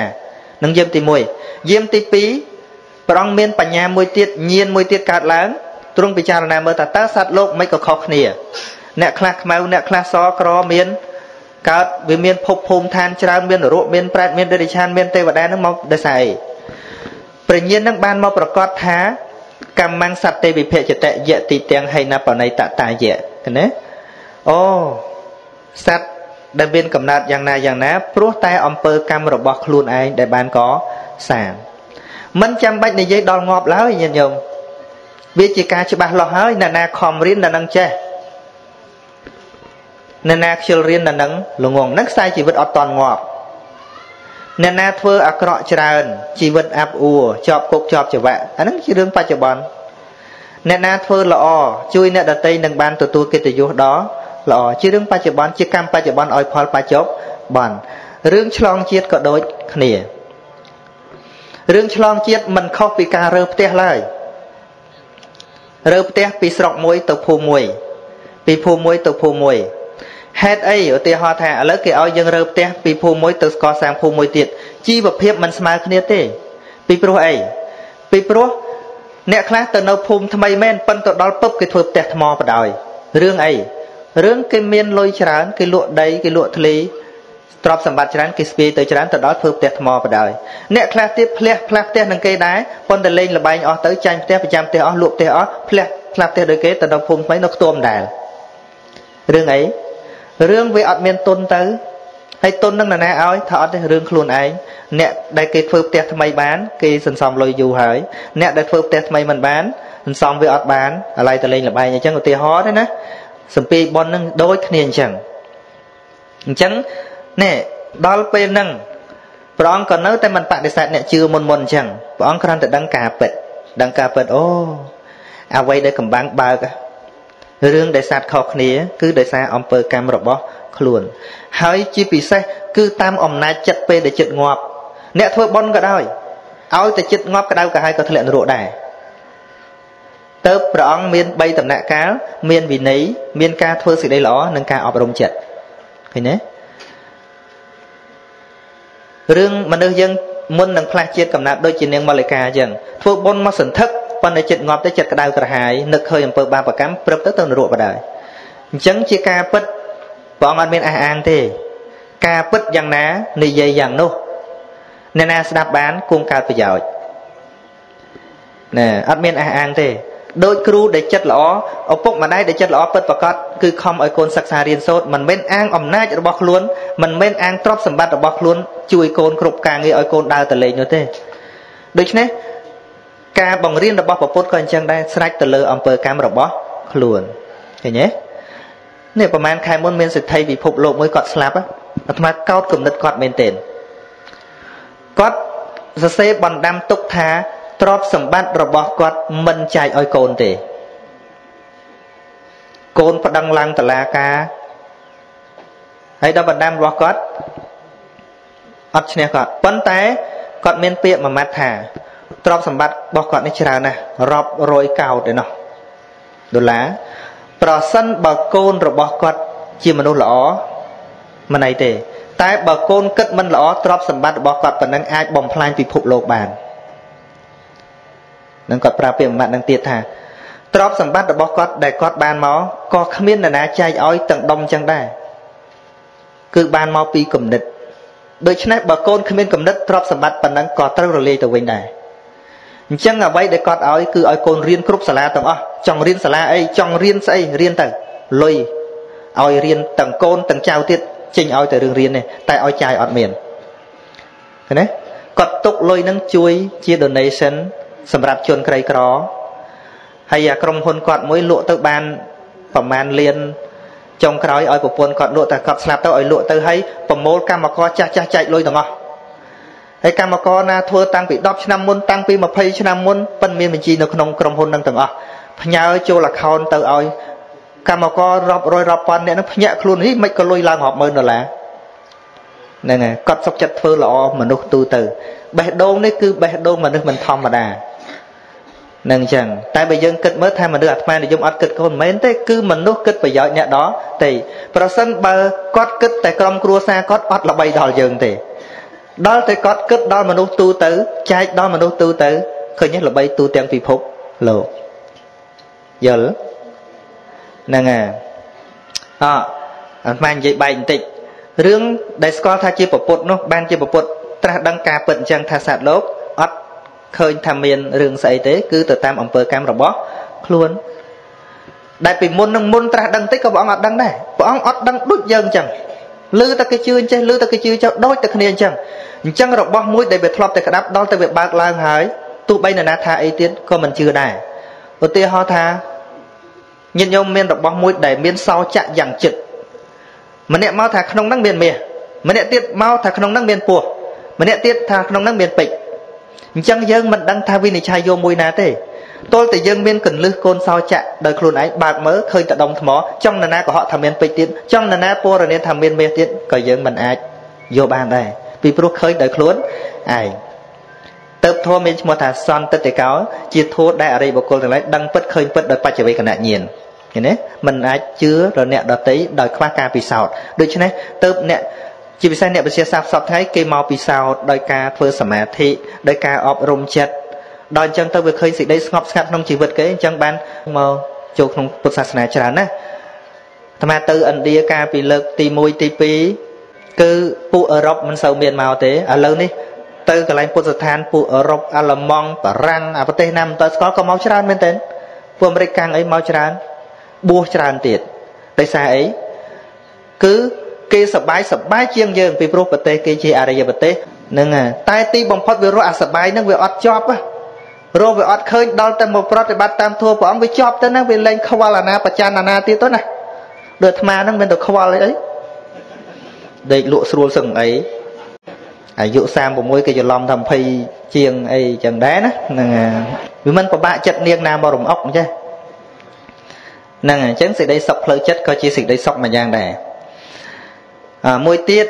ដែលជាប្រពុតពិតប្រកបគឺព្រះអង្គត្រាស់ដឹងនៅបដិច្ចសមុបាទធម៌ណាពីខាងដើមអ្នកដតីក៏គេអាចដឹងដែរគ្រាន់តែមានកម្រិតច្រើននឹងតិចប៉ុណ្ណោះ តែចុងបញ្ចប់ព្រះអង្គឃើញទៅដល់វិជាដែលរំលត់នៅអាសវៈរំលត់នៅកិលេសគ្រប់ប្រការដែលជាពូជនៃវត្តៈកន្លែងនឹងឯងទៅឈ្មោះថាប្រពុតនឹងចឹងនៅពេលដែលព្រះអង្គត្រាស់ដឹងហើយព្រះអង្គមិនទៅតេះដៀលគេហេជឿផ្ដេសផ្ដាស់ហេជឿព្រះអង្គអត់មានទេពីព្រោះឃើញថាវាមានពូជអញ្ចឹងឯងដែលធ្វើឲ្យសត្វលោកល្ងងអញ្ចឹងព្រះអង្គមានតែដើរពន្យល់ពន្យល់ហើយពន្យល់ទៀតអ្នកណាចាប់បានក៏ចាប់បានអ្នកណាចាប់បានបានចាត់ទុកថាអត់មានឧបនិស្ស័យ អ្នកណាចាប់បានមកជួយព្រះអង្គឃើញទេអ្នកដែលយល់ធម៌ព្រះអង្គសុខចិត្តលះបង់ទ្រព្យសម្បត្តិសុខចិត្តលះបង់វាំងវិមានអីដូចសរិបុត្រអីបរិវារសឹក500 500ដល់ទៅយល់សុខចិត្តលះបង់មកជួយព្រះអង្គជួយផ្សព្វផ្សាយសាសនាព្រះអង្គរហូតមកដល់សពថ្ងៃយើងមើលសាសនាក្នុងលោកសិតយកអាទិទេពយកមកគោរពតែនៅក្នុងពុទ្ធសាសនាគឺមនុស្សហើយមនុស្សដែលអាចឲ្យគេគោរពរាប់ពាន់ឆ្នាំបានជាមនុស្សធម្មតាឬក៏ជាមនុស្សអស្ចារ្យបើមនុស្សធម្មតាមិនអាចទេសូម្បីអ្នកទស្សនវិជ្ជាក៏ដោយ ដូចសូក្រាតទស្សនៈគាត់ល្អល្អប៉ុន្តែនរណាយករូបគាត់មកគោរពខ្លះមិនទេមានតែយកទៅត្រឹមទ្រឹស្ដីត្រឹមអីប៉ុណ្ណោះអញ្ចឹងព្រះអង្គមិនមែនត្រឹមតែចំគូកំពូលទស្សនវិជ្ជាទេក៏ជាសាសនៈបុគ្គលដ៏កំពូលដែរដែលអាចមនុស្សធ្វើរូបសំណាកគ្រប់ទីកន្លែងលើពិភពលោកគោរពរាប់ពាន់ឆ្នាំយ៉ាងនេះនឹងអញ្ចឹងហើយសាសនាដទៃសិតតែអាងព្រះលើមេឃទាំងអស់ហើយយើងមិនថាគេខុសទេប៉ុន្តែគ្រាន់តែយើងគិតថាមនុស្សម្នាក់ ដែលគេចាំរាប់ពាន់ឆ្នាំហើយមិនមែនតែមួយប្រទេសទេ ច្រើនប្រទេសលើពិភពលោក អាចមានដល់ប៉ុណ្ណឹងជាមនុស្សធម្មតាឬក៏ជាមនុស្សអស្ចារ្យនឹងចឹងហាហើយបងប្អូនបងសួរមិញសួរថាតើសាសនាជួយអីដល់សង្គមខ្លះហួយបើនិយាយវាជួយជួយច្រើនណាស់យើងរៀបរាប់មិនអស់ហៅថាពហុវិស័យជាពិសេសគឺផ្នែក ស្មារតីដូចជាសពថ្ងៃនិយាយពីរឿងគុណមួយចុះបើមិនមានសាសនានឹងអប់រំពីរឿងគុណមេដាមានគុណបៃតាមានគុណអញ្ចឹងទេមិនជួយត្រង់ចំណុចហ្នឹងទេក៏មិនសូវនិយមមនុស្សនិយាយរឿងគុណដែរឃើញទេអដូចជារឿងសិលការគោរពសិលការគោរពវិន័យនាំឲ្យសង្គមនឹងសុខសន្តិភាពនិយាយមិនអស់ទេបងប្អូនចង់និយាយថាពហុវិស័យចឹងតែហ្មងទៅ រឿងសាសនាជួយថែរក្សាគេមរតកឧទាហរណ៍ដូចជាសង្គមខ្មែរយើងវិស័យអក្សរសាស្ត្រខ្មែរយើងដឹងហើយថាប្រវត្តិអក្សរសាស្ត្រខ្មែរនៅពេលសម័យសង្គ្រាមសម័យបារាំងប្រទេសដែលមិនមានវត្តអារាមប្រទេសដែលមិនមានសាសនារឹងមាំគឺត្រូវវិនិច្ឆ័យអក្សរសាស្ត្រដូចជាប្រទេសវៀតណាមនៅពេលដែលបារាំងកាន់កាប់ អត់មានវត្តអារាមជាឃ្លាំងមរតករបស់ជាតិឃ្លាំងមរតកសាសនាត្រូវបាត់បង់អសរអសរទៅពាក់មួកអស់លីងណាតែនៅក្នុងប្រទេសខ្មែរក៏គេចង់រំលាយដែរកាលណាគេកាន់អាណានិគមលើប្រទេសណាគេចង់ឲ្យប្រើអសរគេ តែខ្មែរយើងអាចតស៊ូនៅភាសាសម្រាប់ជាតិនៅអសរសាស្ត្រសួរថានៅតាណានៅវត្តកុំតែមានវត្តអត់នៅទេអសរខ្មែរក្បាច់ចម្លាក់ផ្សេងផ្សេង បង្ហាញថាជារបស់ខ្មែរក្បាច់ជាវាក្បាច់អង្គរវត្តគឺមានតែខ្លងទ្វារវត្តខ្លងទ្វារពហិមានណាយកទៅធ្វើនៅក្នុងរាងកាសាលរោងបាទេណាច្រើនបែបសំពះបែបថ្វាយបង្គំជាមរតករបស់ខ្មែរគ្មានណាទៅថ្វាយបង្គំក្នុងបាទេគឺថ្វាយបង្គំក្នុងវត្តអានឹងនិយាយតែប៉ុណ្្នឹងនៅច្រើនទៀតណានៅច្រើនទៀតមិនតែប៉ុណ្្នឹងទេបងនឹងអញ្ចឹងអឺបងប្អូន សួរទេលោកគ្រូទេលោកគ្រូហៅបងអូនច្រឡំមើលមិនច្បាស់មិញណាកណាសូមតែគុំចំពោះគុណចាស់គ្រូអឺព្រមទាំងគុណចាស់គ្រប់អង្គដែលទីនេះមួយលើដោយលោកយាយលោកតាហើយនិងសិស្សសាមសិស្សលោកគ្រូគ្រូទាំងអស់ដែលមានវត្តមានចម្ងល់របស់ខ្ញុំកណាតេតងជាមួយនឹងពាក្យថាក្រ ណាកណាតែងតែលឺប្រសង់ទេសនាក៏ដូចជាលោកអមអាចារ្យមួយចំនួនគាត់ថាការកើតបានជាមនុស្សនឹងគឺជារឿងក្រអញ្ចឹងកណាឆ្ងល់ថាក្រល្មិចទៅបើមនុស្សឥឡូវកាន់តែច្រើនឡើងច្រើនឡើងប្រើមធ្យោបាយពជាកំណើតទប់ឈ្នះផងហើយដូចស្រុកខ្មែរយើងហើយពីរបបពលពតមកប្រងព្រៀបដូចតពាំងហើយបើយើងត្រួតពិនិត្យទៅលើទង្វើរបស់មនុស្សសពថ្ងៃនេះទង្វើហាក់ដូចជាអន់ថយ រៀងឃ្លាតឆ្ងាយពីសាសនាផងអញ្ចឹងវាសំតែរុញកំណើតមនុស្សទាំងអស់ហ្នឹងឲ្យទៅកើតជាសត្វដើម្បីថយចំនួនមនុស្សទៅវិញប៉ុន្តែជាក់ស្ដែងទង្វើមិនល្អមិនសូវល្អបែរជាមនុស្សកើតឡើងហើយបើនិយាយថាកើតមកពីសត្វសសត្វអត់បានធ្វើបុណ្យទៅទៀតនេះផងមិនក៏មកជាមនុស្សបានដោយងាយម្លេះអញ្ចឹងកណាស្ងល់ហើយបើនិយាយពីថាចំនួនមនុស្សហើយនឹងសត្វនៅលើពិភពលោកនេះ ចំនួនមនុស្សហើយនឹងសត្វវាកើនឡើងខុសពីអតីតកាលទេតើកំណើតទាំងអស់ហ្នឹងមកពីណាអញ្ចឹងសូមគុណចាស់គ្រូមេតាជួយបកស្រាយទាំងបានយល់ហ្នឹងហើយចំណុចត្រង់នឹងឯងដែលមនុស្សគិតវាលែងចេញ គឺទុកឲ្យព្រះបកើតបដ ாய் ទៅចឹងណាចំណុចត្រង់នឹងឯងមិនមែនយើងទៅតែឆ្ងល់ឥឡូវហ្នឹងទេអឺក៏ឆ្ងល់តាំងពីដើមមក ដល់តែវាបោកប៉ាន់វាមិនត្រូវវាជាអកើនចឹងទៅអាហ្នឹងក៏ទុកថាព្រះផ្ដល់ឲ្យទៅនឹងចឹងបានជាកើតសាសនាជឿព្រះនោះអឺជាធម្មតាអ្វីអ្វីគ្រប់បែបយ៉ាង វាមិនចេះតែកើនទេ ហើយក៏វាមិនចេះតែរាវដែរឧទាហរណ៍ថ្ងៃអញ្ចឹងថ្ងៃរះទៅរះទៅខ្ពស់ទៅខ្ពស់ទៅខ្ពស់ទៅខ្ពស់ទៅខ្ពស់ទៅគង់មានពេលណាមួយ ទៀតទៅវិញហើយក៏លិចបាត់អញ្ចឹងមកក្នុងលោកនេះគ្មានអីជាអមតៈទេ ការរីកឡើងនៃចំនួនក៏ដូចគ្នា មិនមែនចេះតែរីកទេ ទីបំផុតវាមានស្អីមួយវាត្រូវរលាយរលាបសាបសូន្យពីពិភពពិភពលោកនេះ តាមពិតផែនដីយើងដំបងឡើយគ្មានមនុស្សទេណាតាមសាសនាផ្សេងគេនិយាយពីនាងអាដាមអើអាដាមនាងអ៊ីវអីហឹមហ៎ ដាំនាងអោយនាងអ៊ីវអីណោះមានតែមួយពីរអញ្ចឹងទៅហ្នឹងរឿងសាសនាដតីអសាសនាព្រហ្មញ្ញថាមនុស្សកើតពីព្រំចរិតវណ្ណៈព្រាមវណ្ណៈក្សត្រកើតពីប្រអោសកើតពីទ្រូងវណ្ណៈក្រក្រចន្ទដៀលកើតពីរោមជើងព្រំចឹងទៅអើឃើញទេថ្មីត្បិតថាមនុស្សឲ្យតំណែងឲ្យព្រះ ជាអ្នកបង្កើតក៏ឲ្យខុសគ្នាដែរ ឥឡូវព្រះណាបង្កើតពិតប្រកបព្រមាញ់ថាកើតតាមរោមកើតតាមប្រអោណែវណ្ណៈខ្ពស់កើតពីប្រអោពីទ្រូងបើវណ្ណៈទៀបកើតពីរោមជើងនឹងខាងព្រមាញ់ក្នុងសាសនាព្រមាញ់វាមានព្រះបង្កើតព្រះការពារព្រះបំផ្លាញប្រព្រំបង្កើតអឺព្រះវិស្ណុហើយមួយទៀត សេវៈណាសេវៈហ្នឹងការពារវិស្ណុហ្នឹងគឺបំផ្លាញនៅពិភពលោកនេះមានព្រះបង្កើត មានព្រះការពារមានព្រះបំផ្លាញអឺបើនៅក្នុងយេស៊ូអត់មានចែកព្រះពី3ទេព្រះមានតែមួយហើយមានអរិយសាតាំងហ្នឹងអ្នកបំផ្លាញណាឃើញខុសគ្នាក្រៅវិភាកប៉ុនជឿអីជឿទៅកំណរកំណើតមនុស្ស វាជាការវិលវល់ទេវតាក៏អញ្ចឹងដែរទេវតាក៏វាមានពេលច្រើនវាមានពេលតិចទេវតាសម័យខ្លះមានរហូតដល់រាប់អត់បាន ហើយពេលខ្លះក៏មានយុគៈដែលប្រអិនភ័យដែរ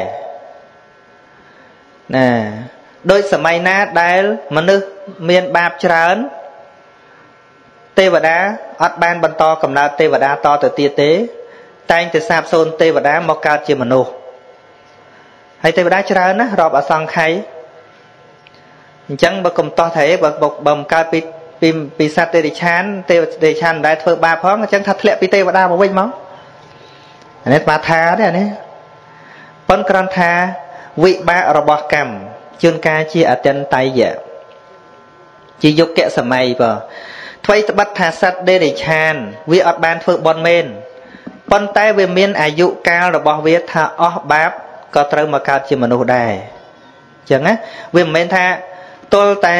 នៅជាសត្វដេរិឆាននឹងធ្វើបន់បានមកកើតជាមនុស្សមិនមែនទេពីព្រោះសត្វនឹងក៏វាមិនមែនធ្លាប់តែកើតជាដេរិឆានដែរពីមុនក៏វាធ្លាប់កើតជាមនុស្សដែរប៉ុន្តែដោយអកុសលកម្មឯណានីមួយរារាំងឲ្យធ្លាក់នរកសិនឬឲ្យធ្លាក់ទៅតិរិឆានសិន ដល់អស់កម្មពីវេរាក៏វាត្រូវបានជាកំណើតមនុស្សសួរតែបានជាកំណើតមនុស្សដោយសារអីដោយសារសល់ពីមុនសល់ពីមនុស្សដូចជាធ្លាក់នរកមកកាប់កំណត់ចឹងធ្លាក់នរកមកចន្លោះពពុតវាមិនមែនរករហូតទេដល់អស់កំណត់របស់វារួចពីហ្នឹងមកមនុស្សវិញហើយណាដូចដូចអ្នកណានៅជាមនុស្សនិយាយដើមគេធ្លាក់នរកហើយមកកើតប្រែតប្រែតនឹងវត្តវាទៀតហ្នឹងដល់អស់កម្មពីប្រែតមកកើតមនុស្សសួរថា បានធ្វើបន់អីនៅក្នុងនរកហ្នឹងបានធ្វើបន់អីនៅក្នុងប្រែតហ្នឹងថាអត់ទេបន់ធ្វើតាំងពីនៅមនុស្សម៉េះយល់ទេអត់យល់ហ្នឹងហើយតាមពិតក្នុងមនុស្សម្នាក់សុទ្ធតែមនុស្សមានបន់សត្វម្នាក់ម្នាក់សុទ្ធតែមនុស្សសត្វមានបន់ប៉ុន្តែដោយសារមានបាបបាបហ្នឹងវានាំទៅរកកន្លែងខុសសិនអញ្ចឹងទៅឧទាហរណ៍មនុស្សម្នាក់ធ្វើខុសជាប់គុក10ឆ្នាំ គេកំណត់ឲ្យ10ឆ្នាំ អញ្ចឹងគេកំណត់រួចស្រេចហើយថា10ឆ្នាំនៅនឹងរួចទេប៉ិនយើងសួរថាតើអ្នកនោះបានធ្វើល្អអីក្នុងគុកបានជារួចមកមានសេរីភាពវិញតាមពិតមិនមែនធ្វើល្អក្នុងគុកទេ ពីព្រោះទោសគាត់កំណត់ប៉ុណ្ណឹងឲ្យគាត់មកវិញឃើញទេយល់ទេរឿងហ្នឹងយល់ទេមិនមែនទៅកសាងគុណសម្បត្តិក្នុងគុកទេប៉ុន្តែបើទៅធ្វើអាក្រក់នៅក្នុងគុកទេអាហ្នឹងវាគេបន្ថែមទៀតមកមិនដឹងទេហ្នឹងហើយ តែបើនៅក្នុងគុកអត់មានកំហុសអីបន្ថែមទេ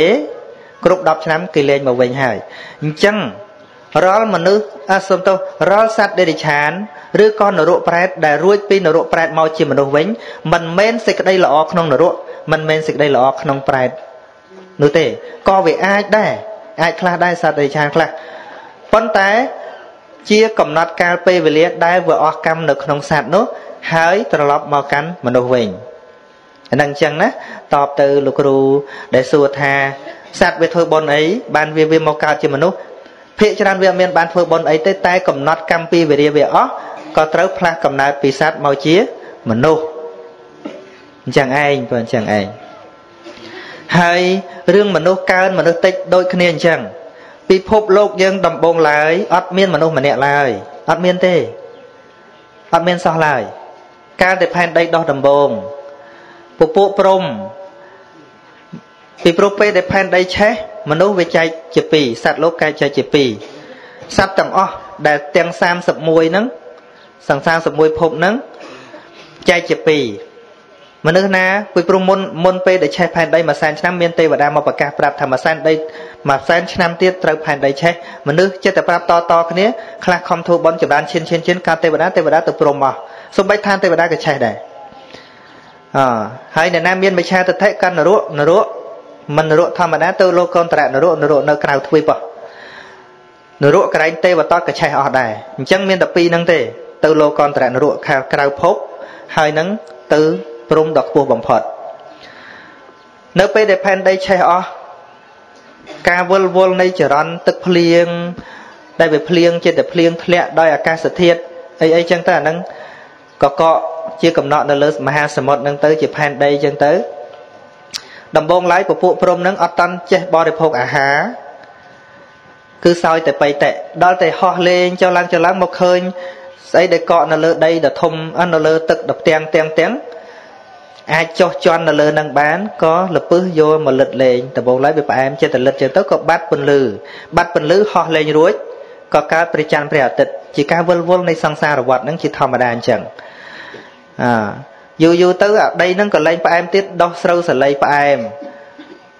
ដល់ស្រូវសលៃផ្អែមនាំគ្នាទៅបោះបកស៊ីអញ្ចឹងទៅបកហើយវាមិនមិនស្កប់នឹងការបកក៏ប្រមូលយកមកទុកសេចក្តីលោភលន់កើតឡើងស្រូវហ្នឹងក៏លែងដោះទៀតទៅ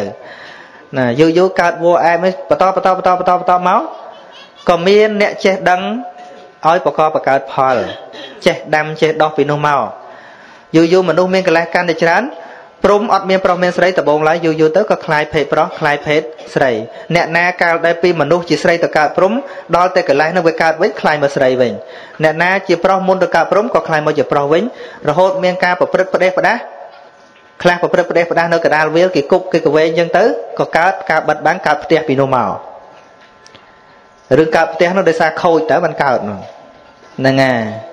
នឹងចឹងអញ្ចឹងយើងមើលពិភពលោកដែលមិនងាយមិនតាន់មានមនុស្សសោះក្រោយមកមានព្រំប្រមាណអ្នកមកដំបងហើយដល់ពេលដែលយុគសម័យមនុស្សដែលដែលវាមានបាបច្រើនហ្នឹងទេវតាដល់ពេលអស់បនច្រើនធ្លាក់មកមនុស្សច្រើនច្រើនច្រើនច្រើនច្រើនច្រើនចឹងទៅបន្តទៅទៀតធ្វើបាបទៅធ្លាក់ទៅនរកទៀតចឹងទៅអកសត្វខ្លះដែលវាមានបាបអស់វាវិលមកមនុស្សវិញចឹងទៅវាវិលអញ្ចឹងនរណាទៅកំណត់ឲ្យអត់បានទេអឺដូចជាយុគសម័យខ្លះពេលសម័យពពុទ្ធអង្គខ្លះមនុស្សរាប់អសង្ខ័យរាប់ រាប់លានកោតមិនប្រហែលហ្នឹងឯងគឺច្រើនជាងហ្នឹងទៀតនឹងរឿងអីរឿងវិលអញ្ចឹងអាអ្នកបនអន់អន់ធ្លាក់ពីទេវតាមកវិញមកអាអ្នកអស់បាបពីនោះឡើងមកវិញមកគប់គ្នាច្រឡឹងច្រើនណាហើយពេលដែលមនុស្សមានភ័យចម្រើនកសលចិត្តអស់ផែនដីមនុស្សកាន់តែស្បាយទៅស្បាយទៅស្បាយទៅអាខ្លះទៅនរកទៅអាខ្លះទៅឋានសួគ៌ទៅធម្មតាអញ្ចឹងអត់មានកំណត់ទេហើយបើយើងថាងព្រះអ្នកបកើតអាណាអាត្មាអាណិតព្រះណាសំបីតែពេទ្យឆ្មប អ្នកជួយសម្រាលកូនណាគ្នាច្រើនសឹងអីរកពេលដេកគ្មានហើយចុះបើព្រះតែមួយអង្គអង្គុយទៅបកើតគេហ្នឹងរកពេលដេកបានអេអង្គុយទៅរាប់នឹងងាប់ត្មងហើយព្រះនេះអាណិតព្រះនឹងណាណាឲ្យព្រះរៈព្រះនឹងជាអ្នកបកើតណាអាណិតងាប់មកនឹងចឹងអញ្ចឹងរឿងច្រើនរឿងតិចវាអត់កំណត់ដោយសារវាវិលអញ្ចឹងណាវាវិលអញ្ចឹងដូច កុំដូចអីទៀតទេនឹងយល់ប៉ុណ្ណឹងចឹងណាបើបានប៉ុណ្ណឹងហើយថាវាមិនទៅទៀតហ្នឹងអាហ្នឹងវាទៅតែរៀនទាំងអស់គ្នាតទៅទៀតបាទសួរទេណាជិនបងសូមគោរពសម្ដេចនិងឋានៈអឺក្រុមអឺព្រះសង្ឃទាំងអស់ហើយនឹងអឺយាយជីតាជីលោកយាយលោកតាទាំងអស់នឹងអឺសូមជាទីគោរពនិងសូមគោរពលោកគ្រូអ្នកគ្រូទាំងអស់ នៃវិទ្យាល័យបានជានឹងសូមជំរាបសួរដល់សិស្សទាំងអស់ជាទីស្រឡាញ់ខ្ញុំបាទឈ្មោះសកុងជានិស្សិតមកពីខេត្តទីមានជ័យខ្ញុំមានសំណួរ3សំណួរចង់សួរអឺគុណម្ចាស់ទីមួយគឺថាអឺគឺថាប្រទេសកម្ពុជាប្រទេសរីកចម្រើនទៅបាន ដោយអាស្រ័យរួមចំណែកទៅលើព្រះពុទ្ធសាសនាមួយចំណែក ជាអ្នកធ្វើឲ្យប្រទេសរីកចម្រើនចង់សួរថាតើអឺសាសនាព្រះពុទ្ធសាសនាហ្នឹងអឺធ្វើអ្វីខ្លះដើម្បីរួមចំណែកធ្វើឲ្យប្រទេសយើងរីកចម្រើននឹងមួយមួយទៀតគឺថាតើមានជាតិមុខឬក៏ជាតិក្រោយដែលទេហើយតើអឺមនុស្សយើងនឹងធ្វើបន់ធ្វើបន់ដើម្បីអ្វី ពេលខ្លះគាត់ថាធ្វើបន់សម្រាប់ទុកទៅជាតិមុខទៀតតើជាតិមុខមានដែរទេហើយធ្វើបន់ដើម្បីអ្វីដើម្បីអ្វីអ្នកខ្លះធ្វើបន់ទៅតាមគ្នា អ្នកខ្លះដោយសារគាត់វ័យចំណាស់ហើយគាត់មិនដឹងពឹងអឺទៅលើអ្វីមានតែប្រធននឹងឯងដែលធ្វើឲ្យគាត់មានចិត្តស្ងប់នឹងសំណួរទី2សំណួរទី3គឺថា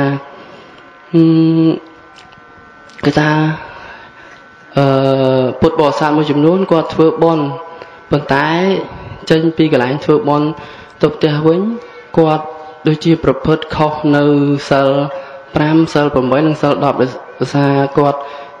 ខ្សែបនៅសូរានិងអឺដូចជាលេងលបែងអញ្ចឹងតើគាត់ប្រះចាកនៅសិលទាំងអស់នឹងទេឬក៏គាត់មានបាបអីទេអឺដូចគុណម្ចាស់ខ្ញុំអស់សំណួរប៉ុណ្ណឹងឯង ណានឹងនឹងមួយទៀតចាស់កត់មកហើយណាយើងកត់មកហើយអឺជាតិមុខជាតិក្រោយមានទៀតឬអត់ហ្នឹងអានឹងដូចជាបាននិយាយខ្លះហើយណាណាខ្លះហើយហើយស្ដាយអត់បានយកសភៅមកសភៅមករៀបនឹងហ្នឹងណាហើយជួយអីខ្លះហ្នឹងចេះបងអូនតាមពិតស្អីក៏មិនអាចជួយយើងបានដែរប៉ុន្តែអ្វីដែលអាចជួយយើងបាន វាទល់តែយើងយករបស់នឹងមកប្រើឧទាហរណ៍ មិនមិនអាចអះអាងថាពុទ្ធសាសនាជួយសត្វលោកមិនអាចនិយាយចឹងបានទេមិនអាចនិយាយថាពុទ្ធសាសនាជួយសង្គមខ្មែរតែម្ដងអត់បានទេ វាទល់តែមនុស្សនឹងយល់គោលការណ៍នៅក្នុងអវាទរបស់ព្រះអង្គយកមកគោរពទៅអាចជួយបានឧទាហរណ៍ឆ្នាំដែលស័ក្តិសិទ្ធបំផុតឆ្នាំនឹងមិនអាចជួយសុខភាពយើងបានទេ ប្រសិនបើយើងមិនលេបឆ្នាំ ពេទ្យដ៏ពូកែបំផុតពេទ្យមិនអាចជួយអីយើងបានទេប្រសិនបើយើងមិនឲ្យពេទ្យព្យាបាលឃើញទេឥឡូវបងប្អូនទាំងឡាយសង្គមយើងដែលកើតអំពើចាប់រំលោភលក់មនុស្សផឹកគ្រឿងញៀនសែបសារាបើកឡានបុកគល់ឈើអីសពគ្រប់ទាំងអស់សួរថាបានយកសិល5យកមកប្រតិបត្តិទាំងអស់គ្នាទេយកទេអត់ទេពពុទ្ធអត់បង្រៀនឲ្យសម្លាប់ពពុទ្ធអត់បង្រៀនឲ្យលួច ពពុទ្ធអត់បង្រៀនឲ្យលុបកពន់កូនគេដើរលេងស្រីលេងស្រាសិតតែជាលបែងអបាយមុខទាំងអស់នៅពេលដែលមនុស្សនាំគ្នាប្រព្រឹត្តអញ្ចឹងយើងបន្ទោសពុទ្ធសាសនាឬក៏បន្ទោសអំពើខ្លួនយើងឃើញទេអ្វីទាំងអស់ក្នុងលោកនេះព្រះណាក៏ដោយអាទិទេពណាក៏ដោយมันអាចជួយមនុស្សបានឡើយបើមនុស្សមិនគោរពមិនស្ដាប់ទេនោះឃើញទេជាធម្មតាអញ្ចឹងយើងមើលប្រទេសជប៉ុន ប្រទេសជប៉ុនអាត្មាមើលអ្នកប្រវត្តិសាស្ត្ររបស់ជប៉ុនមួយបានសរសេរនៅក្រាំងក្រាំងប្រវត្តិសាស្ត្ររបស់គេថា ប្រទេសជប៉ុន បានរីកចម្រើនទៅលើគ្រប់វិស័យដោយសារព្រះពុទ្ធសាសនា ទាំងផ្នែកច្បាប់ ទាំងផ្នែកសិល្បៈទាំងផ្នែកវប្បធម៌ទាំងផ្នែកអក្សរសាស្ត្រទាំងផ្នែកហេដ្ឋារចនាសម្ព័ន្ធគេទៅសេអញ្ចឹងគេថាប្រទេសប្រពន្ធដែលរីកចម្រើនរហូតមកដល់សពថ្ងៃគឺដោយសារពុទ្ធសាសនា ចុះហេតុអីបានប្រទេសខ្លះកាន់ពុទ្ធសាសនាដែលក្រអញ្ចឹងយើងមើលចំនួនបរិមាណនៃអ្នកកាន់ហើយនិងអ្នកគោរពអញ្ចឹងអ្នកកាន់ចុះឈ្មោះជីថាកាន់ពិនសួរថាចុះអ្នកគោរពប្រមាណកាលដែលប្រជុំសាសនាណាបងប្អូនគេនៅជប៉ុនពេលប្រជុំសាសនាអីគេចូលចិត្តការគោរពមើលកាលដែលប្រជុំឆ្នាំណានេះ មន្ត្រីសង្ឃខ្មែរយើងទៅចូលរួម គេយកចិត្តទុកដាក់ស្ដាប់គេអត់បានដាក់ប្រូក្រាមហៅចំចំទេគេគ្រាន់តែប្រកាសតាមអ៊ីនធឺណិតណាគេដាក់ថាមានកិច្ចប្រជុំពុទ្ធសាសនាសកលមួយមនុស្សគ្រាន់តែដឹងអញ្ចឹងគឺគេដាក់ពាក្យយកកន្លែងអង្គុយគឺគេយកចិត្តទុកដាក់អាកន្លែងប្រជុំហ្នឹងណាពពុទ្ធក៏សម្ដែងអញ្ចឹងដែរប្រទេសមួយដែលរីកចម្រើន គឺទល់តែប្រទេសហ្នឹងមាននៅ សារណយធัวជាប់បណ្ដាច់ទី1គឺប្រជុំគ្នាជាប់បណ្ដាច់ពពុទ្ធសម្ដែងអំពីដែនវជីថាដែលគេបំបែកដែនវជីមិនបាន គឺស្ដេចដែនវជីជាមនុស្សស្រស់ស្រួលគ្នាគឺកំណត់អង្គប្រជុំ100នាក់គឺ100នាក់ប្រជុំរហូតអញ្ចឹងការងារអីដឹងគ្នាទាំងអស់គ្រប់ច្រកគ្មាននរណាច្បាំងបានទេហ្នឹងហើយប៉ុន្តែបំផុតយើងមើលឥឡូវនេះហៅប្រជុំបើចែកលុយទៅ អត់ចែកលុយអត់ទៅសួរថាតើយើងចែកចំណេះដឹងឲ្យប្រជាជនយើងយ៉ាងម៉េចកើតនិយាយចឹងចុះរាល់ថ្ងៃអាត្មាមាននិយាយយកធัวមកដាក់ពីមុខឯងញាតិញោមមកស្ដាប់អឥឡូវយកគោលការណ៍អប់រំសុខភាពមកញាតិញោមមកស្ដាប់អត់ស្ដាប់ទេសួរថាយើងរីកចម្រើនយ៉ាងម៉េចពាក្យថារីកចម្រើនរីកចម្រើនតាំងពីស្តង់ដាររស់នៅឡើងតាំងពីអនាម័យតាំងពីការរស់នៅឥឡូវពេទ្យបើកវេទិកាមួយអប់រំសុខភាពអញ្ជើញមកមិនមកឡើយមកទេសួរថាមិនមកដោយសារអីទៅមិនបានលុយ អត់ទៅនឹងឯងអូពេទ្យទៀតជួយមិនបានផងហេតុម៉េចមិនក៏និយាយដល់ចំណុចនេះបើយើងនិយាយពីសុខភាពមួយប្រសិនបើយើងយកចិត្តទុកដាក់អប់រំសុខភាព យើងអប់រំសុខភាពយើងយើងអនាម័យក្នុងការរស់នៅ យើងមានជំងឺតិចសួរថាកាត់បន្ថយការចូលពេទ្យឃើញទេអញ្ចឹងបើគ្រាន់តែកាត់បន្ថយការចូលពេទ្យយើងនឹងសន្សំប្រាក់សម្រាប់គ្រួសារយើងបានសន្ធឹកបាត់ហើយអាហ្នឹងនិយាយតិចតិចតិចតិចបងប្អូនម៉ែគ្រាន់និយាយទូទៅថា អញ្ចឹងស្អីក៏ដោយវាអាស្រ័យអង្គពីរប្រការទី1គឺបរតោខោសៈការជួយពីអ្នកដតីទី2គឺយោនិសោមនសិការៈគឺការជួយខ្លួនឯងមនុស្សដែលគេអាចជួយបាន ដែលគេអាចលើកបាន គឺមនុស្សនឹងជួលចិត្តលើកខ្លួនឯងដូច្នេះពុទ្ធសាសនាមិនអះអាងថាជួយយើងទេ គឺជួយអ្នកមានឧបនិស្ស័យអញ្ចឹងណាធម៌ពុទ្ធ មិនធានាថាជួយសត្វលោកទាំងអស់បានទេគឺជួយអ្នកណាស្ដាប់អញ្ចឹងប្រទេសណាដែលគេយកគោលការណ៍របស់ព្រះអង្គយកទៅប្រព្រឹត្តប្រតិបត្តិដោយប្រទេសជប៉ុនអញ្ចឹងរហូតដល់គេអរគុណថាប្រទេសជប៉ុនរីកចម្រើនទៅលើគ្រប់វិស័យគឺដោយសារព្រះពុទ្ធសាសនា យើងក៏មើលទៅចំណែកប្រទេសក្រប្រហែលជាប្រទេសក្រនឹងក្រទាំងគំនិតកាន់នឹងផងក្រទាំងគំនិតគោរពគោលការណ៍ពុទ្ធហើយបានទៅវាក្រនោះចុះយើងមើលប្រទេសអាហ្វ្រិកដែលអត់បាយនោះកាន់ពុទ្ធសាសនាពីកាល ប្រទេសអាហ្វ្រិកប្រទេសណាមួយនោះនំប៉័ងមួយថ្លៃ2លានដុល្លារហ្នឹងហើយមានកាន់ពុទ្ធសាសនាឯណាដូច្នេះមិនមែនរឿងក្រដោយសារសាសនាទេប្រហែលជាគោរពគោលការណ៍សាសនាមិនដល់កម្រិតអាត្មាទៅឥណ្ឌា26ថ្ងៃ ទៅលង្កា9ថ្ងៃមុននេះអញ្ចឹងដើមមួយអាទិត្យហ្នឹងអត់មានគ្រឿងគ្រោះថ្នាក់ចរាចរណ៍អីមួយទេគេគោរពគ្នានឹងលង្កាក៏ជាប្រទេសគោរពពុទ្ធសាសនាយើងថាគេក្រ ប៉ុន្តែមើលស្តង់ដារពិតប្រកបក្រអ្នកបោះសម្រាមក៏ប្រាក់ខែ100ដុល្លារជាងដែរណាអញ្ចឹងការចេះគោរពគ្នាហើយការគោរពរបស់គេពុទ្ធសាសនាដោយបងអូនសួរមិញហ្នឹងគឺការចាស់ចាស់បានគោរពធម៌អត់ទេណាពុទ្ធសាសនាគឺគោរពពីក្មេងទៅក្មេងក្មេងទៅគ្រូគ្រូដាក់ម៉ឡានម៉ឡានទៅគោរពពោធិព្រឹកគោរពបច្ចេកដីពីក្មេងក្មេងទៅថ្ងៃសៅរ៍ថ្ងៃអាទិត្យក្មេងក្មេងទៅរៀនពុទ្ធសាសនាតាំងពីអាយុ2 3ឆ្នាំឡើងទៅ មិនមានចង្រៃអីទីបំផុតសិលធម៌បានជ្រាបទៅគ្រប់ហើយញញឹមញញែមណាជនជាតិស្រីលង្កាឃើញយើងញញឹមដាក់យើងមិនធ្វើមកកម្មៅដាក់យើងទេណាអញ្ចឹងកាលណាសិលធម៌នៃសាសនាចូលទៅអប់រំរដ្ឋក៏ស្រួលដែររដ្ឋក៏យកគោលការណ៍នៃសាសនាហ្នឹងយកមកអប់រំមនុស្សបានល្អនឹងអញ្ចឹងអញ្ចឹងពាក្យថាជួយអីហ្នឹង បើនិយាយថាមិនអាចជួយអីក៏បានដែរសាសនានៅតែសាសនាទៅបើមនុស្សអត់គោរពសាសនាគ្មានជួយអីទេតែបើមនុស្សគោរពគោលការណ៍ឧទាហរណ៍ព្រះអង្គសម្ដែងអំពីកូនត្រូវគោរពមេដាបេដាបើកូនគោរពវាចម្រើនសិស្សត្រូវគោរពគ្រូស្ដាប់បង្កប់គ្រូយកចិត្តទុកដាក់រឿងរៀននឹងមើលក្នុងសេចក្ដីលកៈសូមមើលព្រះអង្គបរៀនទាំងអស់ប្តីត្រូវស្មោះត្រង់នឹងប្តីប្រពន្ធខ្លួនអត់មានរឿងក្បត់ចិត្តអីអីអីបើយើងគោរពតាមនឹងសួរតែសុខសន្តិភាពអត់សុខអត់ហ្នឹងហើយអញ្ចឹងហ្នឹងបន្តិចបន្តិចអញ្ចឹងណាបងណាដូចឆាត់អញ្ចឹងណាឆាត់ល្អយ៉ាងណាទល់តែយើងកាន់ឆាត់បាំងអាហារមានរសជាតិយ៉ាងណាទល់តែយើងពិសាបានអាហារនឹងចំអែតផ្ទៃបានបើយើងគ្រាន់តែមានទុកវាស្ងៀមហើយយើងមិនយកមកប្រើវាគ្មានជួយអីយើងបានទេសាសនាដូចគ្នាអញ្ចឹងសម័យពីដើមយើងបានសាសនាជួយរក្សាវប្បធម៌របស់យើងឥឡូវបើយើងចោលសាសនាហ្នឹងក៏សាសនាអត់មានយំស្រែកអីទេ វាជារឿងធម្មតាយើងយកអីល្អយកហ្នឹងទៅពុទ្ធសាសនាទៅរីចម្រើនកន្លែងផ្សេងអញ្ចឹងទៅដោយឥណ្ឌាអញ្ចឹងនៅពេលដែលយុគសម័យមនុស្សនៅឥណ្ឌាមិនគោរពពុទ្ធសាសនាក៏ពុទ្ធសាសនាមិនរលាយគ្រាន់តែពុទ្ធសាសនាមិនរីកចម្រើននៅនឹងពុទ្ធសាសនាទៅរីកចម្រើននៅប្រទេសផ្សេងអ្នកណាទទួលយកកន្លែងហ្នឹងរីកចម្រើនតាមបែបអញ្ចឹងទៅធម្មតាអត់មានអីទេពុទ្ធសាសនាព្រះអង្គត្រាស់ឡើងមិនមែនដើម្បីខ្មែរមិនមែនដើម្បីថៃមិនមែនដើម្បីស្រីលង្កាគឺដើម្បីអ្នកមានឧបនិស្ស័យ អ្នកណាយកគោលការណ៍ព្រះអង្គទៅប្រតិបត្តិនៅនោះបានសេចក្តីសុខក្នុងក្រុមគ្រួសារនឹងអញ្ចឹងណាអឺហើយជួយអ្វីខ្លះអាត្មាមិនអាចរាប់ថាជួយអីខ្លះទេប្រសិនបើយើងគោរពគោលការណ៍កតញ្ញូមួយគ្រួសារនឹងបានសេចក្តីសុខគោរពគោលការណ៍ស្មោះត្រង់ប្តីប្រពន្ធមួយគ្រួសារនឹងទុកចិត្តគ្នាបន្តិចបន្តិចប៉ុណ្ណឹងយើងគិតមើលបើយើងមិនគោរពទាំងអស់ហើយជាថាពុទ្ធសាសនាមិនជួយដោយសារជំនឿយើងខុសដោយបងអូនលើកមិញអញ្ចឹងខ្លះទៅធ្វើបន់ដើម្បីអីបន់បានសេចក្តីសុខអនាគត មកពីយល់មិនច្បាស់ពាក្យថាបន់ប្រែថាសេចក្តីល្អអត្តនោសន្តានังបណាតិសោថៃទេតិបញ្ញាធម្មជាតិដែលជំរះ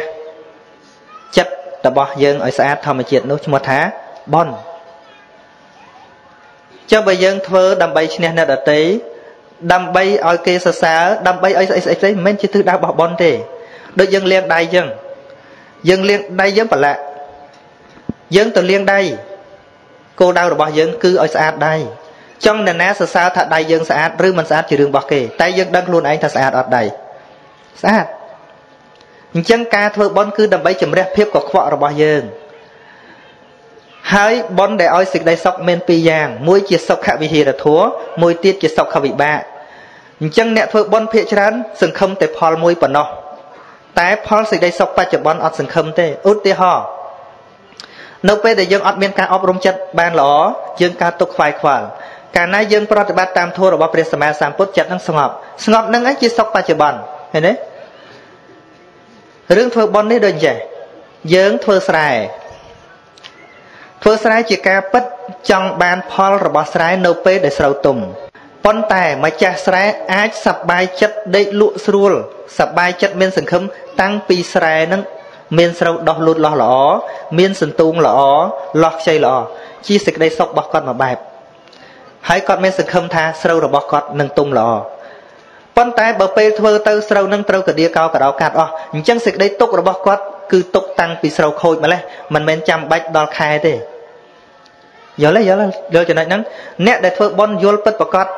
គឺមិនមែនដេកសង្ឃឹមតែផលអនាគតទេដឹងច្បាស់ ឃើញស្រូវកំពុងលាស់ល្អមានសង្ឃឹមក្នុងចិត្តរីករាយនឹងគល់ស្រូវល្អនឹងឯងយ៉ាងណាមិញអំពើរបស់មនុស្សដែលធ្វើល្អធ្វើល្អនិយាយល្អដេកសบายចិត្តសេចក្តីសុខអីក៏មិនស្មើសេចក្តីសុខផ្លូវចិត្តដែរផ្លូវកាយមិនទៀងទាត់ទេ តែសេចក្តីសុខផ្លូវចិត្តដូចអ្នកធ្វើស្រែដែលអាត្មានិយាយចឹងថាមិនតន់ទុំមែនមិនតន់ឃើញផ្លែមែនប៉ុន្តែពេលដែលឃើញសន្ទុំលាស់ល្អគឺសบายចិត្តដោយបងប្អូនរៀនដើម្បីធ្វើការងារ ប៉ុន្តែពេលដែលបងប្អូនរៀនប្រឡងជាប់រៀនប៉ាកែធ្វើអីក៏ចេះបងប្អូនសប្បាយចិត្តតាំងពីឥឡូវទៅម្លេះអញ្ចឹងការធ្វើបុណ្យគឺដើម្បីដោះស្រាយបច្ចុប្បន្ននឹងជាសំខាន់បើបច្ចុប្បន្នមិនល្អអនាគតក៏មិនល្អដែរព្រះសម្មាសម្ពុទ្ធតាមពិតព្រះអង្គសម្ដែងក្នុងផតទេករតសោថាកុំសង្ឃឹមអតីតៈកុំសង្ឃឹមអនាគតតែត្រូវជំរះបច្ចុប្បន្នបច្ចុប្បន្នល្អអនាគតប្រកបជាល្អហើយបងអូនថាអ្នកខ្លះមកសុំសិលទៅវិញផឹកស្រាអាហ្នឹងវាមិនលៀនល្អហើយណានៅលើគោកហ្នឹង ណោះណោះអត់អឺមួយសោះនឹងអញ្ចឹងអើហើយស្អីមួយទៀតចុងក្រោយមិញភ្លេចហ៎ណាជួយរំលឹកមើលស្អីក្រោយមិញអស់ហ៎លេងលបែងលេងអីហ្នឹងណានឹងអង្គតែចាស់ទៅអាហ្នឹងមកពីទម្លាប់យើងទម្លាប់យើងនឹងវាខុសពីគេទៀតអញ្ចឹងបានថាឥឡូវនៅលង្កានៅថៃគេអប់រំក្មេងពុទ្ធសាសនានឹងក្មេង ទៅសួរទៅកូនក្មេងនៅស្រីលង្កាប៉ុណ្ណាក៏ចេះសូត្រធម៌ដែរលោកយើងនឹងទៅសូត្រចាញ់ក្មេងៗឥឡូវហ្នឹងឯងទៅឃើញកំមុំកំមុំស្រីលង្កាវាសូត្រធម៌ដួលងាប់ហើយលោកយើងនោះសិតតែធម្មចក្រសិតតែស្អីស្អីគឺចេះប្រវត្តិសាស្ត្រពុទ្ធសាសនាច្បាស់លាស់តែមានចង្រៃអីហើយខ្មែរយើងអើយវារៀនធម៌ខ្លាចវាមិនយកប្តីហី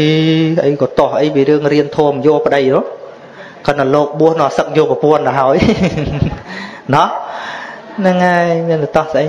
ជាងការទស្សនៈខ្មែរយើងដោយបងអូននិយាយហ្នឹងដូចដល់ចាស់ទៅដូចធ្វើអីមិនកើតឬពឹងតែធัวអញ្ចឹងទៅអញ្ចឹងបកុលសាសនាហ្នឹងឲ្យទៅលើចាស់អញ្ចឹងបានពុទ្ធសាសនាអត់អាចជួយសង្គមយើងបានដោយសារអីសិលធម៌នៃពុទ្ធសាសនាអត់អាចជ្រាបចូលទៅក្នុងចិត្តសន្តានបងប្អូនបានពួកបងប្អូនគិតថាចាស់បានត្រូវការធម៌តាមពិតនៅក្មេងនឹងឯងគឺជាវ័យដែលមានរោគអ្នកដែលប្រឈមមុខនឹងអេដមិនមែនចាស់ចាស់ទេណានេះមុខប៉ុណ្ណេះហើយឈប់កើតអេដហើយណា ឃើញទេហើយទៅកាប់គ្នាក៏មិនមែនចាស់ចាស់នេះដែរគឺបងប្អូនទៅប្រច័នគ្នាទៅជះទឹកអាស៊ីតដាក់គ្នាចាស់ចាស់ឈប់ហើយអញ្ចឹងអ្នកដែលត្រូវការអប់រំបំផុតគឺក្មេងហេតុអីបានខ្មែរយើងយល់ថាចាស់បានត្រូវការធัวឃើញទេជីវិតយើងគឺត្រូវការធัวត្រូវការអត់ឱនត្រូវការឲ្យអភ័យសិតតែធัวជីវិតត្រូវការបញ្ញាបញ្ញាជាធัวបើជីវិតមិនមានបញ្ញាជាជីវិតអាប់អោនជីវិតត្រូវការមេត្តាកាលណាជីវិតមិនមានមេត្តាជាជីវិតខូខើ ជីវិតត្រូវមានករណាចេះអាណិតអាសូរជីវិតត្រូវការចេះចែករំលែកនាំឲ្យជីវិតមានសេចក្តីសុខសន្តិភាពឃើញទេសូម្បីទៅនៅក្នុងកាន់សិល5មួយសិល5ការមិនសម្លាប់សត្វនាំឲ្យមានមេត្តាធម៌មិនលួចទ្រព្យអ្នកដទៃនាំឲ្យមានការចិញ្ចឹមជីវិតប្រកបដោយធម៌មិនលួចកូនប្រពន្ធគេនាំឲ្យមានការសន្តោសដល់ភរិយានិងកូនសេចក្តីសុខក្នុងក្រុមគ្រួសារមិននិយាយកុហកនាំឲ្យមានសច្ចធម៌ក្នុងសង្គមមិនផឹកសារានាំឲ្យសង្គមគឺជាមនុស្សមានស្មារតីធ្វើអ្វីអ្វីប្រកបដោយហេតុផល យើងគ្រោះថ្នាក់រាល់ថ្ងៃចរាចរណ៍ភាកច្រើនមកពីភ័ក្រផឹកស្រាធ្លាក់ភ្នែកហ្នឹងឯងមិនចឹងអញ្ចឹងមិនធានាថាពុទ្ធសាសនាជួយទេ គឺទល់តែយើងយកគោលការណ៍ហ្នឹងយកមកគោរពប្រតិបត្តិទើបជួយបានយល់ទេណាហ្នឹងហើយដល់អត់ដល់ម៉ោងហើយអស់ម៉ោងហើយអស់យើងនៅរាប់បាទៀតនឹងអញ្ចឹងប៉ុណ្ណឹងចុះអូនចង់អីសួរបន្តិចម៉ាត់ពីរម៉ាត់អញ្ចឹងកណាសូមគោរព ថ្វាយកណាថ្វាយអង្គមគ្រប់ព្រះអង្គហើយកណាសូមគោរពលោកតាលោកយាយដូចជាអ្នកគ្រូលោកគ្រូកណាមានចម្ងល់មួយចង់សួរទៅព្រះអង្គកណាឆ្ងល់ថាមនុស្សកើតមកលើលោកហើយមិនដេចហើយមិនក៏មិនមានមនុស្សកើតលើលោកសុទ្ធតែអ្នកមានបនធ្វើបនមកបានបានកើតជាមនុស្សដូចគ្នាហេតុអ្វីបានជាមនុស្សយើងមិនមានប្រាជ្ញា នឹងការធ្វើអំពើអំពើខុសគ្នាហើយក៏ដូចជាបច្ចុប្បន្នការប្រព្រឹត្តកណានកណាននេះសុំអស់យោបល់ត្រឹមនេះសិនមកហ្នឹងហើយរឿងខុសគ្នាវាមកពីអំពើរបស់ខ្លួននឹងឯងណាឆ្លៃខ្លីខ្លីដូចបងប្អូនរៀនអញ្ចឹងពិន្ទុខុសគ្នាជាងការមកពីការព្យាយាមខុស គ្នាឃើញទេហ្នឹងហើយអាហ្នឹងនិយាយពីបច្ចុប្បន្នប៉ុន្តែបើអតីតជាតិក៏វាខុសគ្នាអញ្ចឹងដែរដាំដីជាមួយគ្នាមែនប៉ុន្តែដោះមកដើមខុសគ្នារឿងអីមកពីវាពូជខុសគ្នាណាឧទាហរណ៍ថាដាំដីតែមួយនឹងដៅតែមួយមានពូជស្វាយមានពូជដូងពូជអីដោះមកខុសគ្នាទាំងអស់សួរថាមកពីដីហ្នឹងឬក៏មកពីពូជមកពីពូជសំពីបនមកវាខុសគ្នាអាហ្នឹងវាឆ្ងាយពេកបាក់គិតនិយាយអំពីរៀននេះបើគេខំរៀនចេះអត់ ហើយមិនចេះឆ្ងល់គេចេះបានលេខ1ហើយឯងដើរបុកទៅវិយាហើយបានលេខ20រហូតគឺមកពីអំពើកម្មរបស់ខ្លួនឯងយល់អត់ហ្នឹងគឺថាអំពើហ្នឹងអានេះអំពើនៅក្នុងជាតិហ្នឹងអាឆ្លងជាតិក៏ដូចតែគ្នាអញ្ចឹងដែរណាដោយព្រះសម្មាសម្ពុទ្ធមិនក៏ព្រះអង្គមានបញ្ញាម៉េះ ព្រះអង្គសន្សំបារមី4អសង្ខ័យមួយសែនកាប់មកអកសាវកទាំងអស់មិនក៏សរិបុត្រមានបញ្ញាជាងគេនៅក្នុងសាវកថាសរិបុត្រមួយអសង្មួយអសង្ខ័យមួយសែនកាប់ទៀតសាវកផ្សេងផ្សេងបានតែមួយសែនអញ្ចឹងវាឲ្យស្មើគ្នាមិនកើតយល់ទេណាវាខុសគ្នាអញ្ចឹងពធទេសនាសំគួរដល់នៅពេលវេលាតែប៉ុណ្ណេះឯងអេវ៉ាំងអាឥឡូវនេះប្រាក់ដែលបងប្អូនបានចូលរួមជាមួយពុទ្ធបរិស័ទបូជាពធទេសនាបាន